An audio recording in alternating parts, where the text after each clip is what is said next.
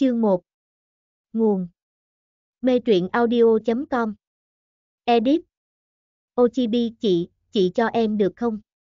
Không phải chỉ là một đèn lồng tước cốt thôi sao, chị đừng keo kiệt như vậy, chị à, chị chính là người em yêu nhất mà, thư vệ sâm ngồi bên cạnh chị gái, không thuận theo cậu thì cậu cứ làm nũng. Cậu bé 5 tuổi môi hồng răng trắng, diện mạo thập phần xinh đẹp. Đôi mắt hút hồn vô cùng, con ngươi đen nhánh, mắt tròn tròn, khi nhìn người nó linh động như có thế nói. Thư vệ sâm là người thừa kế trong nhà, ba mẹ quản thúc cậu rất nghiêm khắc. Một nhà bốn người, cậu cũng chỉ dám tùy hứng trước mặt chị gái. Lúc này đứa nhỏ gương mặt phồng má, tay không bỏ lôi kéo thư sâm nhuyễn, mắt to chớp chớp, khẩn cầu nhìn thư sâm nhuyễn. Vệ vệ muốn đèn lồng, chị cho em đi.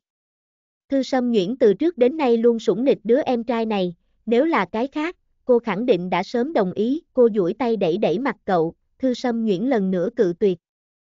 Không được, đó là quà mà bạn của chị tặng, quà không thể đưa cho người khác đâu. Em nghe lời chị, lên mạng dạo xem, nhìn trúng cái gì chị cũng mua cho em. Thư Sâm Nhuyễn không sợ công phu sư tử ngoạm của em trai chút nào, cô có tiền, có rất nhiều rất nhiều tiền. Thư gia là quý tộc tiếng tăm lừng lẫy ở thành phố A, Thư Sâm Nguyễn là tiểu công chúa được cha mẹ nâng niu trong tay, tài khoản của cô mỗi tháng bọn họ đều sẽ chuyển vào một số tiền lớn để tiêu vặt. Nhưng tính tình Thư Sâm Nguyễn không phải yêu tiêu tiền, tích lũy tháng ngày giờ cô đã thành tiểu phú bà hàng thật giá thật. Thư vệ Sâm nhăn cái mũi, cảm thấy không hứng thú hỏi. Trên mạng thật sự có thể mua được đèn lồng tước cốt sao? Đương nhiên. Không mua được. Trong rừng độc cú mèo biến dị đều tuyệt chủng, nào còn có thể mua được cái gì làm bằng xương chúng nó đâu. Đèn lồng tước cốt chẳng dùng cho việc gì, chỉ để nhìn và ngắm như món đồ chơi, nó chính là vật quý hiếm làm cho món quà có giá trị hơn, lúc này mới bị bạn cô xem như quà sinh nhật đưa lại đây. Thấy chị gái thật lâu không có mềm lòng, thư vệ sâm liền xài tuyệt chiêu. Cậu biểu môi, giả khóc. Một bên nhắm hai mắt khóc, khóc, một bên tan nát cõi lòng không thôi oán trách. Hức hức, chị không yêu em sao, tiếng khóc cậu vang dội, nước mắt cùng âm lượng không phù hợp, khó khăn lắm chỉ đủ dính ướt lông mi. Bởi vì dùng sức gào quá, khuôn mặt trắng nõn đỏ lên, cực kỳ giống áp quả táo, buồn cười lại rất đáng yêu. Thư Sâm Nguyễn đã nhầm. Nếu nước mắt nhiều một chút, cũng đừng cứ mở khẽ đôi mắt, lén lút quan sát phản ứng của cô, nói không chừng cô sẽ mềm lòng. Nhưng lúc này cái đuôi hồ ly của thư vệ sâm không giấu hết, thư sâm Nguyễn chỉ nghĩ cười. Trong lòng muốn cười, thư sâm Nguyễn liền thật sự cười lên tiếng. Chị! Thư vệ sâm khó tin, cậu khóc, chị gái còn có thể cười. Cậu tức giận lắc lư cánh tay của thư sâm Nguyễn, thư vệ sâm ngữ khí cực không dễ chọc cảnh cáo cô. Em giận rồi, giận cái kiểu không ai dỗ được. Đèn lồng tước cốt trong phòng chị là đạo cụ đặc biệt, chỉ có nó mới có thể làm em nguôi giận, đừng nhìn thư vệ sâm mới 5 tuổi, cậu là tiến hóa giả cấp 6, toàn thân thư sâm nhuyễn đều bị rung chuyển. Vệ vệ đừng lay chuyển nữa, chị bị em làm choáng váng cả đầu. Thư sâm nhuyễn nói. Thư vệ sâm mới không tin, cậu biết chị thân thể yếu, cậu khống chế được sức lực. Mặc kệ mặc kệ, chị đem nó cho em em sẽ không nháo chị. Em, thư sâm nhuyễn không có xạo cậu, đầu cô thật sự rất khó chịu, vừa rồi rất chóng mặt. Một đợt choáng váng càng mãnh liệt ập lên phía trên, thư sâm nhuyễn hai mắt nhắm lại, hôn mê bất tỉnh. Thiếu nữ bỗng nhiên ngã xuống trên mặt đất, cô đeo một chiếc vòng tay trong suốt trên cổ tay mảnh khảnh, lúc này nó phát ra từng trận hồng quang, đồng thời còn có âm thanh cảnh báo bén nhọn. Nguy hiểm! Nguy hiểm! Nguyễn Nguyễn chủ nhân ngất xỉu, tại sao chị ngất xỉu? Thư vệ sâm hoảng sợ. Cậu kinh hoàng khuôn mặt nhỏ trắng bệch, nhào tới người ngã trên mặt đất, trong miệng còn gào khóc. Chị, chị, làm sao bây giờ, là em khiến chị hôn mê sao? Thân mình nho nhỏ của cậu bé bổ nhào vào trên người thiếu nữ, cô lại như trúng một đòn nghiêm trọng, trong hôn mê vẫn kêu rên. Vòng tay lóe hồng quang dừng một chút, âm thanh cảnh báo càng dồn dập. Chịu tập kích không rõ, xương sườn chủ nhân nghi ngờ đã gãy. Đang kiểm tra đo lường. Chủ nhân mất đi ý thức. Hệ thống phòng ngự tự động mở, gãy xương.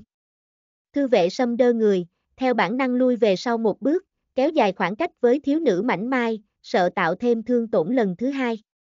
Cậu hiện tại chạm vào cũng không dám chạm thư sâm nhuyễn một chút, trên khuôn mặt nhỏ tràn đầy nước mắt, thư vệ sâm đăng đăng chạy ra khỏi phòng ngủ của chị gái. Hoảng loạn chạy xuống lầu 2, thư vệ sâm tìm được người máy đang tưới hoa ở nhà chính, lập tức hét lớn. Thúc thúc, cứu mạng với, chị bị gãy xương. Thư sâm nhuyễn có một giấc mơ rất dài rất dài. Trong mơ thế giới không phải năm 2319, không có ba mẹ yêu thương cô, cũng không có em trai tinh linh cổ quái, năm 2019, Thư Sâm nguyễn là một cô nhi. Tuy rằng thân thế đáng thương, nhưng Thư Sâm nguyễn trong đông đảo cô nhi vẫn xem như may mắn, một vị cựu giáo sư đại học nhận nuôi cô. Giáo sư có thói quen đến cô nhi viện thăm trẻ con, ngày đó Thư Sâm nguyễn mới được đưa đến cô nhi viện, không biết như thế nào nghĩ tới đứa con gái khó sinh mà qua đời. Nếu em bé kia có thể sống sót, cũng sẽ lớn như vậy. Hợp mắt, vị giáo sư độc thân nhiều năm liền nhận nuôi đứa nhỏ này, kêu cô gọi mình là bà ngoại, còn đặt cho cô tên mới, Thư Sâm Nhuyễn. Được bà yêu quý, Thư Sâm Nhuyễn vui vẻ lớn lên. Hè năm cô 16 tuổi, bà ngoại qua đời vì tuổi già. Thư Sâm Nhuyễn đau khổ thật lâu, bạn học không yên tâm, mạnh mẽ lôi kéo mãi để cô ra ngoài. Ở trên phố, hai người bọn cô đi vào một hiệu sách. Trong hiệu sách, cô nhìn đến nơi đặt sách bán chạy nhất. Thư Sâm Nhuyễn nhìn đến vai chính cùng tên với mình, tùy tay mua luôn quyển sách. Về đến nhà, Thư Sâm Nhuyễn mới phát hiện cùng tên với mình là nữ phụ. Đó là bị tráo đổi, nữ chủ là thiên kim quý tộc thật, nữ phụ chỉ là một đứa trẻ bị vứt bỏ.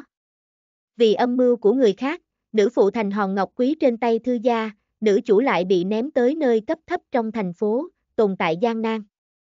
Năm 16 tuổi thân phận các cô bị phát hiện, nữ chủ được mang về thư gia. Nữ chủ cứ tưởng rằng mình có thể khổ tận cam lai, lại không ngờ thiên kim giả xem không vừa mắt cô, liền chèn ép cô. Cuối cùng nữ chủ bệnh trầm cảm nặng thêm, tự sát chết. Khổ tận cam lai. Hết khổ đến sướng, quyển sách này có tên là Trọng sinh báo thù nhân sinh, cho nên những cái đó chỉ là kiếp trước nữ chủ trải qua. Mở đầu, đó là ngày hôm sau khi thư gia nhận lại cô ta, nữ chủ mang theo hệ thống trở về. Kế tiếp nữ chủ có các cuộc gặp gỡ không ngừng, thăng cấp nghịch tập, còn không quên nghiền nát nữ phụ. Cô ta chẳng những báo thù kiếp trước, còn ly gián cảm tình thư gia với nữ phụ, hủy hoại mặt cô, cuối cùng tính kế cho cô chết trong miệng thú biến dị. Nửa tỉnh nửa mê, thư sâm nhuyễn nghe được âm thanh thấp thấp nức nở, còn có hai âm thanh rất quen tai. Không biết chị con thân thể yếu sao? Con còn không ngoan như vậy. Chị nói không thể, con còn nháo con bé, thư vệ sâm con coi mình có đúng không? Âm thanh một nam một nữ trầm thấp, nhưng không ảnh hưởng đến nghiêm túc trong đó chút nào. Tiếng khóc thấp thấp dường như bị bao phủ trong lời răng dạy, nghe khiến cho người ta rất đau lòng. Mí mắt thư sâm nhuyễn run rẩy, cuối cùng mở ra. Lúc vợ chồng thư gia giáo huấn con trai cũng chú ý trên con gái trên giường, thư sâm nhuyễn vừa mở mắt, bọn họ liền phát hiện. Nhuyễn nhuyễn, con tỉnh rồi, dọa ba mẹ sợ chết. Nhuyễn nhuyễn, còn có nơi nào không thoải mái hay không? Hai gương mặt đầy quan tâm ánh vào mi mắt, bọn họ là ba mẹ thư sâm nhuyễn, bên cạnh còn có đôi mắt cậu nhóc khóc sưng thành quả đào, là thư vệ âm ấy nấy lại bất an. Con không có việc gì, ba mẹ hai người đừng trách em trai. Thư Sâm Nguyễn nói, cô vừa động phía dưới, bên hông truyền đến một trận đau nhức. a con làm sao vậy? Thiếu nữ xinh đẹp mặt lập tức nhăn nhó. Lúc này thư mẫu tiến lên đè cô lại, không cho cô lộn xộn. Nguyễn Nguyễn vừa rồi con gãy xương, hiện tại còn đang trị liệu, ráng ngoan ngoãn nha. Nguyễn Nguyễn đã ngủ nửa giờ, nằm thêm hai tiếng rưỡi là có thể khỏi hẳn. Thư phụ cũng ở một bên trấn an cô. Thư Sâm Nhuyễn nghe vậy nhìn chỗ bị đau đớn, bên hông cô được tấm chăn mỏng phủ lên, và một cái hộp trắng lớn có bàn tay lơ lửng phía trên. Máy trị liệu màu trắng tản mát ra ánh sáng màu lam, chiếu vào bên hông Thư Sâm Nhuyễn. Nơi được ánh sáng lam chiếu rất ấm áp, sâu trong chỗ xương cốt còn có chút ngứa rất nhỏ. Dường như có thể nhận thấy được vết thương khép lại, theo lời thư phụ, hơn 2 giờ là có thể khỏi hẳn. Thư Sâm Nhuyễn nghi hoặc nhìn về phía bọn họ, nói. Sao con lại gãy xương? Cô nhớ rõ mình là choáng ván đầu, chẳng lẽ là không cẩn thận té ngã nên gãy? Hôm nay vợ chồng thư gia ở trong công ty, bỗng nhiên nhận được tin tức từ người máy quản gia. Bọn họ vội vàng về nhà ngay lập tức, khi về đến nhà, người máy quản gia đã chuẩn bị tốt cho Thư Sâm Nhuyễn. May mắn cô ngoài gãy xương cũng không có gì đáng lo ngại, hai người mới thôi lo lắng. Thư vệ Sâm từ phía sau chui ra, cậu vừa rồi như chim cút nhỏ trốn trong góc. Cậu nhóc dùng tay lau nước mắt, hai con mắt đỏ rực. Chị, em sai rồi, em không nên quấn lấy đồ chị muốn, cũng không nên ép chị. Em không phải cố ý chọc giận chị, cũng không phải cố ý làm chị gãy xương, thư vệ sâm càng nói càng khổ sở, hai việc trùng hợp như vậy, như thế nào nghe cũng giống cố tình. Được rồi, chị tha thứ cho em, thư sâm nhuyễn tay xoa xoa trên đỉnh đầu cậu, cười nói. Đừng khóc, tiểu khóc bao. Chị, chị thật tốt. Tiểu gia hỏa nín khóc mỉm cười, tay nhỏ nắm lấy tay thư sâm nhuyễn. Nơi bị cậu nắm ấm ấm, chỗ ấm áp này vẫn luôn truyền tới đáy lòng. Thư Sâm nhuyễn nhìn tiểu gia hỏa trước mặt, lại nhìn nhìn ba mẹ đứng ở mép giường, chóp mũi bỗng nhiên ê ẩm. Vì để Thư Sâm nhuyễn yên tĩnh nghỉ ngơi, thư phụ thư mẫu đều rời đi, còn mang thư vệ Sâm ra khỏi phòng ngủ. Trước khi đi, thư mẫu còn cúi mình xuống hôn gương mặt cô. Thư vệ Sâm cũng không cam lòng yếu thế, nhón chân cắn trên cầm cô một ngụm. Chị cố lên, mau khỏe nha. Loại thân mật này Thư Sâm nhuyễn tập mãi thành thói quen, bởi vì mười mấy năm qua cảm tình nhà bọn họ đều tốt như vậy. Trong phòng chỉ còn một mình Thư Sâm Nhuyễn, cô chớp chớp mắt, nước mắt theo khóe mắt lăn xuống. Cô nghĩ, nghĩ toàn bộ. Ngày 1 tháng 12 năm 2019 Chương 2 Nguồn Mê truyện audio.com Edit Ochibi ở năm 2019, cô Lạc Thư Sâm Nhuyễn, 16 tuổi. Xem xong quyển sách, cô liền xuyên thành một đứa bé trong trọng sinh báo thù nhân sinh. Nhưng mà khi đó Thư Sâm Nhuyễn mất đi ký ức, từ tâm trí con nít lớn lên. Hôm nay ngất xỉu cô mới nhớ tới hết thảy, hóa ra cô không phải con ruột của ba mẹ. Thư Sâm Nhuyễn thống khổ che mặt, thấy tương lai của mình đều là một mảnh mờ mịt. Ông trời dường như chơi cô, cho cô xuyên qua thế giới mới, có người thân có gia đình ấm áp.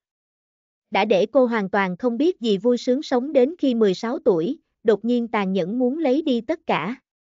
Hơn nữa dựa theo cốt truyện, mùa đông năm cô 16 tuổi chân tướng sẽ bị phơi bày ra ánh sáng. Mà Diêu Điềm trọng sinh ở đoạn thời gian đó, hiện tại đầu tháng 6, nói cách khác còn có nửa năm, Diêu Điềm hận Thư Sâm Nguyễn tận xương tủy sẽ trở lại. Thư Sâm Nguyễn không rõ lắm kiếp trước Diêu Điềm đã xảy ra chuyện gì, nhưng hôm nay mình là con gái Thư gia, là đối tượng báo thù của cô ta. Dưới sự tính kế của Diêu Điềm, Ba mẹ đối với cô thất vọng cực điểm, cô bị hủy dung, bị ném tới rừng độc chết thảm trong miệng thú biến dị. Mình nên làm sao bây giờ? Mình nên làm sao bây giờ? Thư Sâm Nguyễn hai mắt mất đi thần thái, mờ mịt và bất lực. Hai tiếng rưỡi trôi qua, Thư Mẫu liền đi lên lầu hai. Cửa phòng ngủ đóng, Thư Mẫu ấn chuông cửa, liền có trình tự thu thập mặt và vân tay bà, đối chiếu với cơ sở dữ liệu. Không đến 2 giây sau khi thư mẫu ấn chuông cửa, một âm thanh trẻ con đáng yêu ở phòng vang lên. Ngoài cửa là mẹ chủ nhân, ngài muốn cho bà ấy tiến vào không? Thư sâm nhuyễn từ một tiếng, không cần xuống giường đi lại, cửa phòng ngủ màu trắng tự động mở ra. Thư mẫu đi đến mép giường, phát hiện con gái sắc mặt có chút kém, bà lo lắng hỏi. Thế nào, vẫn còn không thoải mái sao? Dưới tác dụng của máy trị liệu, vết thương thư sâm nhuyễn đã tốt lên. Sắc mặt cô kém như vậy, là nhất thời chưa tiếp thu nổi sự thật. Thiếu nữ rũ mắt, hàng mi dài công vút nồng đậm che khuất nửa đôi mắt, làm thư mẫu không phát hiện ra cảm xúc của cô. Đều rất tốt, mẹ không cần lo lắng. Thật sự sao? Thư mẫu vẫn có điểm không yên tâm, bà đè đè vòng eo mảnh khảnh của con gái, thấy cô không có phản ứng mới tin là cô khỏi hẳn. Xác nhận eo thư sâm nhuyễn không có việc gì, thư mẫu lại quan tâm chuyện khác. Chút nữa xuống lầu nhuyễn nhuyễn ăn cơm nhiều một chút, con xem con đã gầy thành bộ dáng gì. Vân đều nghe mẹ hết. Cô ngẩn mặt trả lời, bởi vì động tác đó, có một lọn tóc xẹt qua gương mặt cô. Thư mẫu nhìn thấy, thuận tay giúp cô đem tóc vén sang bên tai, đi thôi. Hai mẹ con rời phòng, phòng thư sâm nhuyễn ở lầu 2, trái phải theo thứ tự là phòng ngủ của ba mẹ và em trai. Nơi bọn họ ở hiện tại không phải nhà cũ tổ tiên thư gia để lại, là biệt thự khi ba mẹ kết hôn đã mua. Biệt thự không phải đặc biệt lớn, nhưng trang hoàng vô cùng dụng tâm, tráng lệ huy hoàng rất lịch sự tao nhã, so với nhà cũ lạnh như băng càng có cảm giác gia đình. Nơi này thật là nhà thư sâm nhuyễn, cô lớn lên ở chỗ này, biệt thự mỗi một chỗ đều có hồi ức của cô. Khi không hiểu chuyện, cô nháo muốn chơi chơi trốn tìm, bé gái nhỏ đem thư phụ đang xử lý công việc lôi ra thư phòng, ở biệt thự trốn tây núp đông, trên tay vịn cầu thang điểm suyết thủy tinh xinh đẹp, thời kỳ thư sâm nhuyễn thay răng ngã vài lần, miệng đập trên tay vịn, răng cửa lay động hoàn toàn rơi ra. Chính là bởi vì thư sâm nhuyễn thích thủy tinh màu trắng trên tay vịn, dù biệt thự kiểu Trung Quốc thay đổi phong cách vài lần, cái tay vịn cầu thang vẫn như cũ không động tới. Đôi mắt thư sâm nhuyễn mỗi chỗ đều đảo qua, lưng cô dần dần thẳng băng. Trên cái bàn tròn bày đầy thức ăn, loại tình huống này chỉ phát sinh ở số ít gia đình. Bởi vì 300 năm bùng nổ ô nhiễm, địa cầu bị phá hư đến tình trạng khó có thể tưởng tượng nổi. Hiện giờ đất đã không thể gieo trồng thực vật bình thường, rau quả ăn được đều có nguồn gốc từ thiết bị nuôi trồng. Bàn ăn của người thường là thực phẩm bành chế. Thực phẩm bành chế là gì? Lấy dịch dinh dưỡng từ thực vật biến dị, sau đó trộn với hóa chất, chất lỏng biến thành thể rắn, thương gia đem dịch dinh dưỡng thể rắn làm thành hình dáng đồ ăn, dùng để bán. Thư Sâm Nhuyễn từng tò mò thử qua một lần, chúng nó bề ngoài giống rau quả, ăn vào lại giống như nhựa, không có hương vị, vị cực kém. Không có đất để sản xuất nên thực vật giá trị rất xa xỉ, là người lâu lâu xa xỉ một lần mới dám mua, thư gia lại có thể mỗi ngày bày đầy bàn ăn. Kỹ thuật người máy đầu bếp rất tốt, 300 thực đơn trước mặt đều được chế biến chính xác, mỗi món được chế tác hoàn hảo theo từng bước phối hợp với nguyên liệu hoàn mỹ, thức ăn trên bàn đầy đủ màu sắc hương vị. Chị, món cuối là súp sườn, chị phải ăn nhiều nha. Thư vệ sâm đoan chính ngồi ở trước bàn ăn, nghiêng đầu thấp giọng nói chuyện với chị gái. Thư sâm nhuyễn nói. Cô vừa dứt lời, quản gia đem món súp cuối cùng vào nhà ăn. Hiện giờ kỹ thuật mô phỏng người máy đã rất hoàn hảo, bề ngoài của hắn không ai nghi ngờ là người thường, làn da trắng nõn, diện mạo đoan chính, mặc áo bành tô màu đen. Bước chân quản gia dường như được đo đạt nhiều, ưu nhã lại trầm ổn. Chúc các vị dùng cơm ngon miệng. Quản gia đem súp xương sườn đặt lên bàn ăn, sau đó khẽ cúi đầu, thân sĩ lui xuống. Thư vệ sâm quay đầu lại, cho hắn một gương mặt tươi cười đáng yêu, nhỏ giọng nói. Cảm ơn quản gia thúc thúc. Người máy trên mặt ý cười ôn hòa, dùng để đáp lại tiểu thiếu gia trong nhà. Trong mắt người trưởng thành, người máy chỉ là một công cụ, có điều hình dáng giống người thôi. Trẻ con lại khác, nó sẽ đối bọn họ mỉm cười, đối bọn họ nói lời cảm ơn. Lễ nghi trên bàn ăn của mọi người rất tốt, bao gồm cả thư vệ sâm 5 tuổi. Thư sâm nhuyễn cúi đầu, yên lặng ăn mì trước cơm. Diêu Điềm ở thành phố B, cô ta không có cơ hội ăn được những món này. Nhớ tới những thực phẩm bành chế kia, mỹ vị thức ăn ở miệng cô mất đi hương vị. Ăn súp. Một cái chén nhỏ đặt trước mặt thư sâm nhuyễn, thư phụ giúp cô múc, bởi vì súp sườn gần ông nhất. Tuy thư phụ không nói quá nhiều, nhưng ông yêu thương con gái không thua gì vợ mình. Vâng, cảm ơn ba. Thư sâm nhuyễn bưng chén, ngoan ngoãn hút một ngụm. Thư phụ nhìn con gái cúi đầu ăn cơm, ánh mắt sủng nịch. Nguyễn Nguyễn hôm nay bị thương, ông cảm thấy đau như xương cốt mình bị chặt đứt. Nếu là người khác thương tổn Nguyễn Nguyễn, ông khẳng định không tha cho người đó. Nhưng đầu sỏ gây tội là thằng nhóc con trong nhà, ông chỉ có thể giáo dục bằng miệng. Sau khi ăn xong, vợ chồng Thư Gia lại trở về công ty, công ty này do bọn họ một tay sáng lập. Thư Gia có được nguồn năng lượng quặng mỏ lớn nhất Đông Đế quốc, quặng mỏ Thư Gia là cơ sở cho xã hội thượng lưu ở thành phố A. Nhưng Thư Phụ không phải người tử thủ tổ nghiệp, ông cùng Thư Mẫu hợp lực, ở ngành sản xuất cũng lấy được thành tựu nổi bật. Tử thủ tổ nghiệp Nối dõi sản nghiệp của tổ tiên, người khác kính trọng Thư Phụ, ngoài là gia chủ Thư Gia, một phần rất lớn chính là năng lực của bản thân ông. Hôm nay là thứ bảy, trường của thư vệ sâm 5 tuổi không có tiết học, vẫn là sắp xếp chương trình học trong nhà. Người thừa kế không phải dễ làm, sau khi kết thúc cơm trưa, thư vệ sâm đã bị quản gia mang vào phòng học. Trong lúc nhất thời, trong nhà dư ra một người rảnh rỗi thư sâm nhuyễn. Ở chỗ này thư sâm nhuyễn hiện tại cũng là học sinh cấp 2, lão sư có cho bài tập. Cô không muốn lại nghĩ đến chuyện của Diêu Điềm, nên muốn học để quên bớt đi. Nhưng ngồi trước bàn sách hồi lâu, nội dung sách cô xem đều không đi vào. Tầm mắt quét đến kệ trên tường, ánh mắt thư sâm nhuyễn rơi xuống ngăn thứ hai. Ngăn thứ hai phía bên trái, có một đèn lồng tinh xảo. Đèn lồng chỉ to bằng nắm tay lớn, khung đèn là xương thú trắng tinh như ngọc, mặt trên điêu khắc rất sống động. Đèn lồng tuy là hàng mỹ nghệ, nhưng buổi tối có thể sáng lên, lung linh rực rỡ, xinh đẹp mỹ lệ. Sâu trong rừng độc có một loại cú mèo biến dị, hình thể nhỏ xinh, buổi tối quanh thân có ánh quang hồng nhạt mộng ảo che kín. Có người phát hiện do xương cốt làm cú mèo biến dị sáng lên, mà khung xương của nó làm thành đèn lồng thật xinh đẹp. Thương nhân tìm thấy cơ hội kinh doanh, loại đèn lồng này lưu hành trong giới quý tộc khắp nơi một đoạn thời gian, thậm chí loại cú mèo biến dị này toàn bị gọi là đèn lồng tước cốt. Số lượng cú mèo biến dị đã thưa thớt, sau một thời gian bị bắt giết thì không thấy nữa. Đạo lý dùng vật quý hiếm làm niềm vui dù nơi đâu đều bất biến, đèn lồng tước cốt càng được tìm kiếm nhiều hơn. Hiện giờ trên thị trường đã không còn đèn lồng tước cốt, chỉ có thể mua lại từ tay người khác. Mặc kệ nó giá trị nhiều ít bao nhiêu, buổi tối phát ra ánh sáng có bao nhiêu xinh đẹp, Thư Sâm Nhuyễn không thưởng thức nổi. Lúc trước cô còn rất thích, hiện tại nhìn nó Thư Sâm Nhuyễn liền nghĩ đến rừng độc. Nữ phụ chết thảm ở rừng độc, buổi sáng Thư Sâm Nhuyễn khôi phục ký ức cũng có liên quan đến đèn lồng tước cốt, cô nhìn đèn lồng, cảm thấy giống như nó nhắc nhở chính mình. Thư Sâm Nhuyễn thật ra muốn đem đèn lồng đưa cho em trai, nhưng đó là quà người khác tặng cô. Hiện giờ Thư Sâm Nhuyễn bởi vì cái này bị thương, Thư vệ Sâm lại không đề cập tới chuyện đèn lồng tước cốt.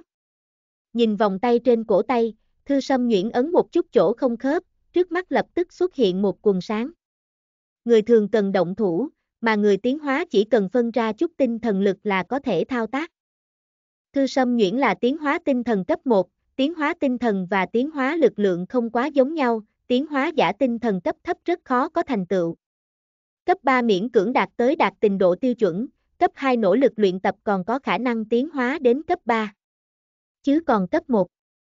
Phần lớn tiến hóa giả cấp 1 không cảm nhận được tinh thần lực, nếu không phải lúc sinh ra có kiểm tra do lường gen, khả năng đều sẽ không phát hiện ra mình là tiến hóa giả. Sau khi khôi phục ký ức, Thư Sâm Nhuyễn cân nhắc dựa theo giả thiết thông thường, người xuyên Việt có phúc lợi. Cô nhìn chầm chầm quần sáng màu lam nhạt, một phút đồng hồ, hai phút. Thật lâu trôi qua, đôi mắt cô khô khốc không thôi, cũng không phát hiện tinh thần lực gì cả. Thư Sâm Nhuyễn không hề làm khó mình, nhấp môi, bắt đầu ở tinh võng tuyên bố tin tức. Tin tức của cô chính là mua đèn lồng tước cốt trong tay người khác, cho nên ra giá tương đối cao. Tin tức tuyên bố mau một giờ, chỉ có một người nhắn tin cho Thư Sâm Nhuyễn. Tư liệu của hắn cho thấy là ở khu B, khu B là thành nội cấp thấp hơn so với thành phố A, Thư Sâm Nhuyễn có chút hoài nghi. Hai người hàng huyên vài câu, đối phương cho Thư Sâm Nhuyễn xem hình ảnh, ảnh chụp đúng là đèn lồng tước cốt. Trên tinh võng người sử dụng đều có chứng thực thân phận, Thư Sâm Nhuyễn không sợ bị lừa. Nếu đồ vật là giả, hệ thống quản trị có thể trực tiếp xử lý. Tôi đem tinh tệ chuyển cho anh, anh đem đồ vật gửi lại đây được không? Khu B là khu phụ thuộc gần nhất khu A, vận chuyển vật phi hành khí một giờ là có thể chuyển đến. Người bên kia một lát sau mới hồi phục, nói muốn thư sâm nhuyễn tự mình tới lấy. Tác giả có lời muốn nói. Nam chủ cuối chương xuất hiện ngày 2 tháng 12 năm 2019. Chương 3 Nguồn Mê truyện audio.com Edit Ochibi, 09 Chu, B Thành, Thư Sâm Nhuyễn cũng từng đi qua vài lần với Thư Mẫu. Các thành nội hạng 2 như B Thành, trung tâm là khu phồn hoa, trừ nơi đó ra còn lại là khu vực bần cùng. Tự mình đi lấy cũng được, Thư Sâm Nhuyễn đang muốn đi ra ngoài nhìn xem. Nhắc mới nhớ, Diêu Điềm lớn lên từ một viện phúc lợi ở B Thành. Nếu có thể, cô cũng muốn nhìn thấy Diêu Điềm. Trên người cô đang mặc là trang phục ở nhà, Thư Sâm Nhuyễn yêu cầu thay quần áo mới có thể ra cửa. Cô đi đến trước một mặt tường, nhẹ nhàng ấn một cái nút nhỏ. Tường phát ra âm rất nhỏ, ken két, vòng tròn cao 2 mét xuất hiện trên tường, với tâm là điểm phóng, tường hướng theo rìa vòng tròn bên cạnh co rút lại, cuối cùng thành một động tròn có thể thông qua. Thư Sâm Nhuyễn đi qua động tròn, thật ra là vào phòng chứa quần áo. Phòng chứa quần áo và phòng ngủ của cô ban đầu có cửa, khi Thư Sâm Nhuyễn xem phim, nhìn trong phim có cửa tròn, tuyệt vời này. Cô cảm thấy thú vị, vừa nói cho ba, thư phụ liền kêu người sửa lại ngay. Phòng chứa quần áo to như vậy treo đầy quần áo, mà mới chỉ là mùa này thôi. Thư mẫu thích mua quần áo cho con gái, đủ loại quần áo xinh đẹp. Nên làm phòng chứa quần áo cho Thư Sâm Nhuyễn, quần áo thường xuyên đổi mới, có rất nhiều bộ thậm chí còn treo nhãn. Thư Sâm Nhuyễn thích mặc váy, phòng giữ quần áo kiểu dáng đều tinh mỹ, xinh đẹp. Cô lấy một cái váy trắng bình thường nhất trong tủ thay, sau đó đi ra khỏi phòng. 16 tuổi, Thư Sâm Nguyễn có rất nhiều bạn cùng lứa trang điểm.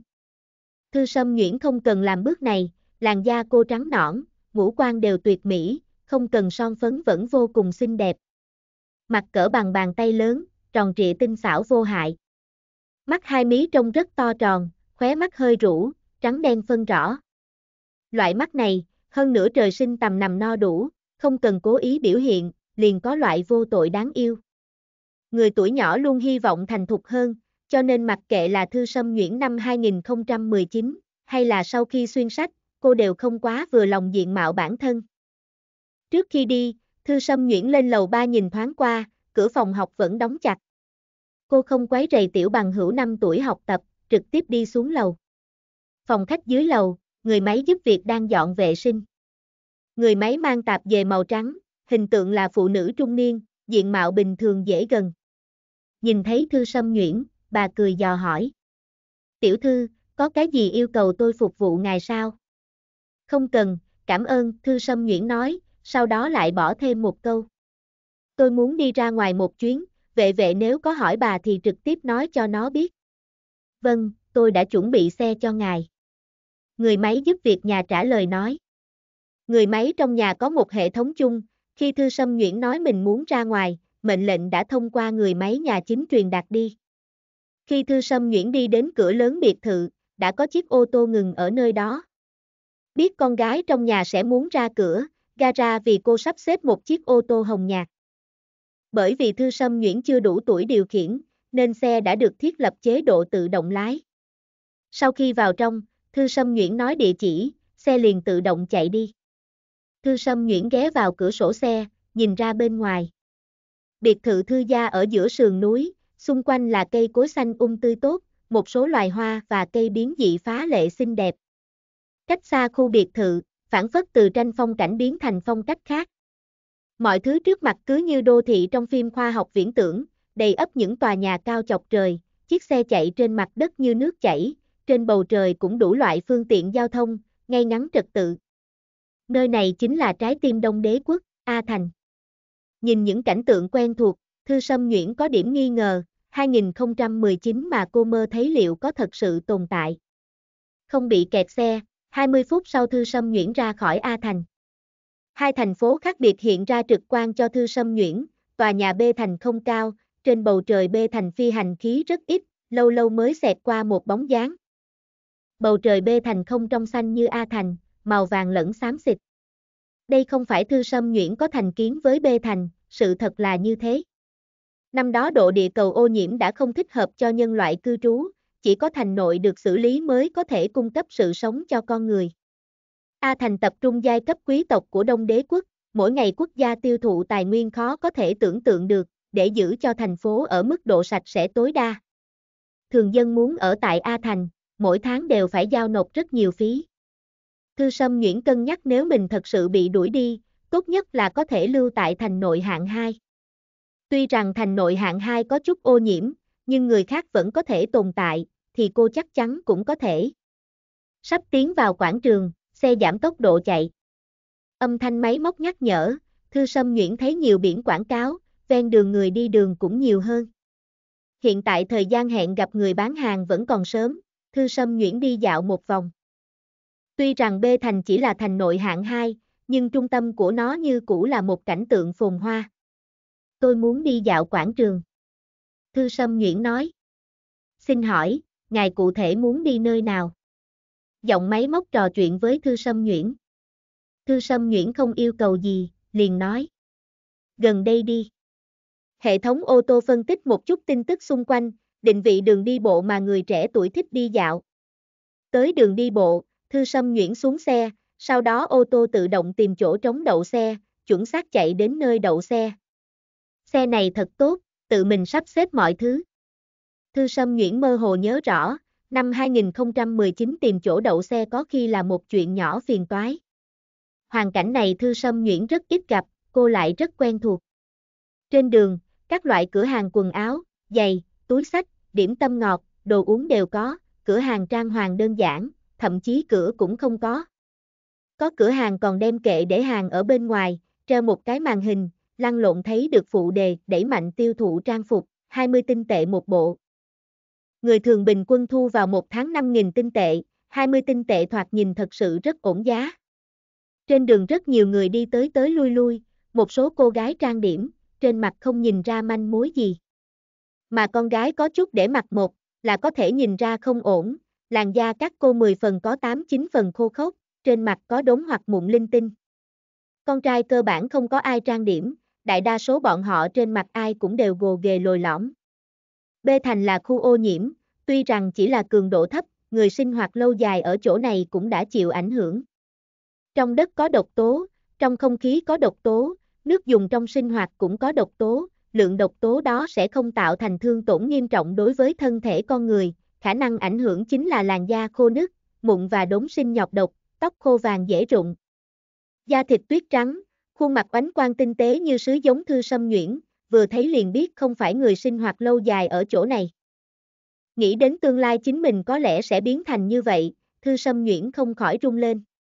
Góc đường có một cửa hàng vật phẩm trang sức nho nhỏ, cửa hàng diện tích không lớn, nhưng đồ vật độc đáo đáng yêu, rất có thể hấp dẫn lực chú ý của những cô gái trẻ tuổi. Diêu Điềm, chúng ta là bạn học, cậu không thể xóa số lẻ cho tôi sao? Nghe câu nói thế, thân thể thư sâm nhuyễn mềm một trận, dừng lại bước chân. Diêu Điềm, không phải là tên nữ chủ sao? Cô nhìn trong cửa hàng, bên trong có hai nữ sinh, một người lùn chút có béo, một người rất cao rất gầy. Nữ sinh cao gầy mặc đồng phục màu đỏ, cô quyết đoán lắc đầu, mặt vô biểu tình nói. Thật xin lỗi, tôi chỉ là nhân viên của cửa hàng, không có quyền cho giảm giá cho cậu. Sau khi bị cự tuyệt, nữ sinh lùng biểu môi, tay đưa tới máy trước mặt quẹt một cái, cầm đồ vật liền đi. Đi phía trước, giọng nói cô ta khắc nghiệt đủ để cho toàn bộ người trong tiệm đều nghe được. Đen đuổi quỷ, nhìn đến cô là không có chuyện gì tốt. Diêu điềm tay đặt trên quầy nắm chặt, rất mau lại buông lỏng ra. Cô ta không có phản bác nữ sinh kia, thần thái vững vàng, chỉ là khuôn mặt ám vàng giống như thêm ảm đạm rồi. Ánh mắt đầu tiên thấy Diêu Điềm, là có thể biết nữ sinh này không tốt lắm. Cô ta hơi hơi còng lưng, đôi mắt luôn là nửa rũ, như là sợ nhìn đến tầm mắt người khác, giống như rất muốn che giấu bản thân mình. Mười mấy tuổi, phải là tư thái khí phách hăng hái, hẳn là đầy sức sống, bộ dáng không sợ trời không sợ đất tinh thần phấn chấn, cô ta không nên là như vậy. Từ nhỏ đến lớn, Diêu Điềm trước sau ở vị trí bị khi dễ.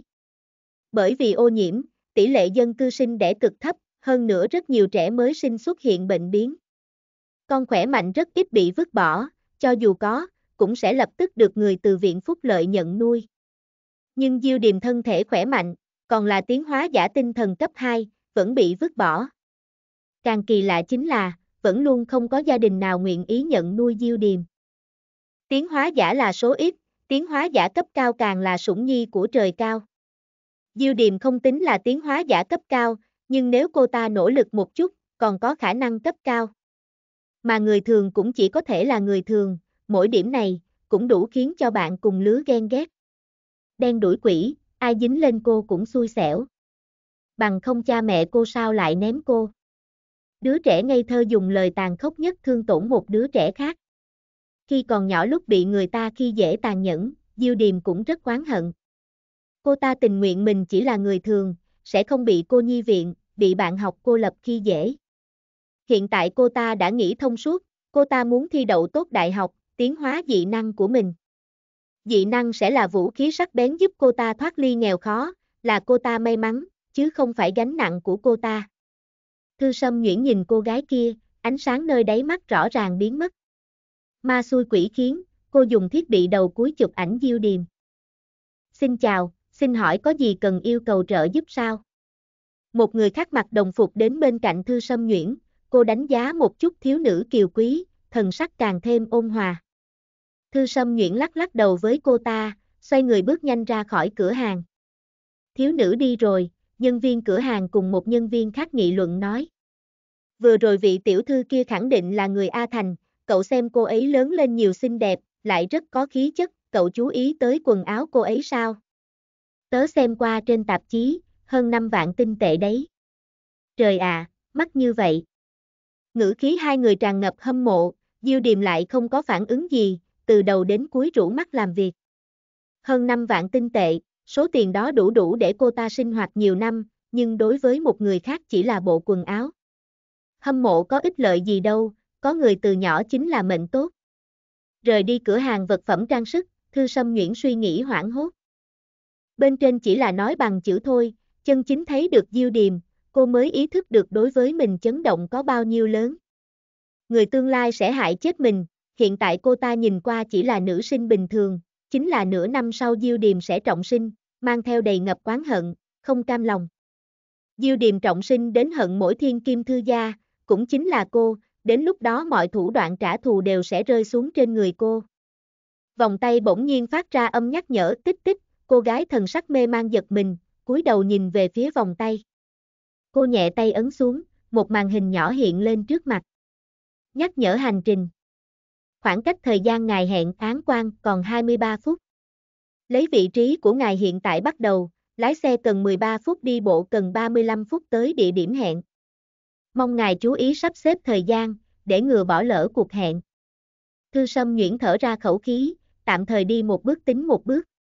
Cô ném chuyện Diêu Điềm ra sau đầu, tính toán đi đến điểm hẹn. Ngày 7 tháng 12 năm 2019 Chương 4 Nguồn Mê truyện audio.com Edit Không chính chu, Ochibi, trong nhà chật chội, gia cụ bên trong thập phần cũ nát. Chủ nhân nhà này hẳn là rất bần cùng, nhưng ngôi nhà sạch sẽ, bố trí cũng rất ấm áp, trên cửa sổ nho nhỏ còn có một chậu cây xanh tươi tốt. Hoắc lão thái thái năm nay mới 60 tuổi, trên mặt già nua của bà khe rãnh che kín, thân mình nhỏ gầy cũng bị gánh nặng sinh hoạt mà còng xuống. Lão thái thái này cả đời ở tầng chót vùng vẫy trên người cũng không có dấu vết oán hận, đôi mắt bà bởi vì già cả bắt đầu vẫn đục, nhưng bên trong vẫn như cũ nhất phái ôn hòa. Hoài hoài của chúng ta lớn lên thật tốt, nhanh đã là người lớn rồi. Lão thái thái cười nói, ánh mắt hiền hòa nhìn thiếu niên trong phòng. Tuy rằng Hoắc Dịch Hoài mới 17 tuổi, nhưng thân đã cao hơn một M80. Hắn tuấn Mỹ dị thường, gương mặt này giống như là thượng đế tinh tế điêu khắc ra. Thiếu niên có một đôi ngươi màu khói bụi, ánh mắt lạnh lẽo, giống thung lũng băng sâu trong núi tuyết. Hình dáng ngũ quan thâm thúy làm hắn thoạt nhìn càng thêm không dễ tiếp cận, dường như chạm một chút liền sẽ bị tổn thương do giá rét. Chỉ có khi cùng bà nội ở bên nhau, trong ánh mắt thiếu niên mới có tí ấm áp, hắn dơ dơ lên khóe môi, nói.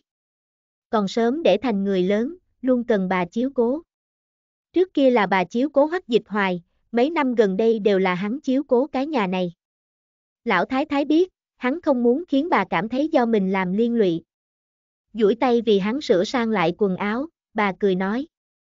Mau đi học đi, đừng đến muộn. Vâng, gặp bà sau. Hoắc Dịch Hoài là năm ba cao trung ở A Thành, kỳ thi tuyển sinh còn một tháng nữa, nhưng hắn đã được trường đại học tốt nhất A Thành tuyển chọn trước. Bởi vì muốn tham gia đặc huấn học viện Hoàng gia, nên không tham dự lễ tốt nghiệp ở trường, hiệu trưởng cao trung yêu cầu hắn quay video trước.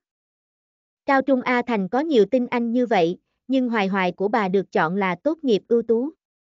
Bà nội hoắc nhìn bóng dáng thiếu niên, trên mặt mang theo tươi cười kiêu ngạo. Hoắc dịch hoài mặc đồng phục cao trung A Thành, vải màu đen gắn gượng phát họa ra thân ảnh thiếu niên thon dài, hắn vai rộng eo thon, chân dài tỷ lệ kinh người. Trên đường luôn có nữ sinh nhìn chăm chú Hoắc dịch hoài, sau đó quay đầu hưng phấn cùng bạn học bàn tán. Thiếu niên này tuấn Mỹ dị thường, cử chỉ còn có cổ tự phụ nói không rõ, hắn nhưng rất không giống người bê thành. Hoắc dịch hoài đã quen loại ánh mắt này, dễ dàng có thể làm như không thấy, mặc kệ những người đó ác ý hay thiện ý, hắn đều không để bụng. Đại đa số thời điểm, mọi thứ xung quanh đều bị hắn lạnh nhạt cự tuyệt. Xe bảy vòng tám quải, mang theo thư sâm nhuyễn đã tới điểm hẹn. Đây là một quảng trường cũ xưa, xe ngừng ở một quán ăn. Nhà hàng nhỏ cũng không biết mở nhiều ít năm, bị khói dầu tiêm nhiễm xám xịt. Người trên mạng nói cho cô, gia cảnh hắn sa sút hiện tại vô cùng túng quẫn, lúc này mới muốn đem đồ vật bán đi. Thư Sâm nhuyễn vào bàn ăn, bên trong có hai bàn khách nhân đang ăn cơm. Cô gái mặc váy liền áo, lụa thắt ngang mang vòng eo tôn lên càng thêm nhu mỹ tinh tế, giống như gập lại liền sẽ đứt. Làn da cô trắng nõn lộ ở bên ngoài tỏa sáng, tóc trong biển dài mềm mại khoác ở sau người, một khuôn mặt thuần mỹ kiều diễm. Cô từng bước đi vào nhà hàng nhỏ, thiếu nữ tựa hoa sơn này hấp dẫn tầm mắt mọi người sáng sớm. Thiếu nữ thuần mỹ như thế, người trong quán ăn âm thầm liếc mắt đánh giá một cái rồi lại liếc mắt một cái.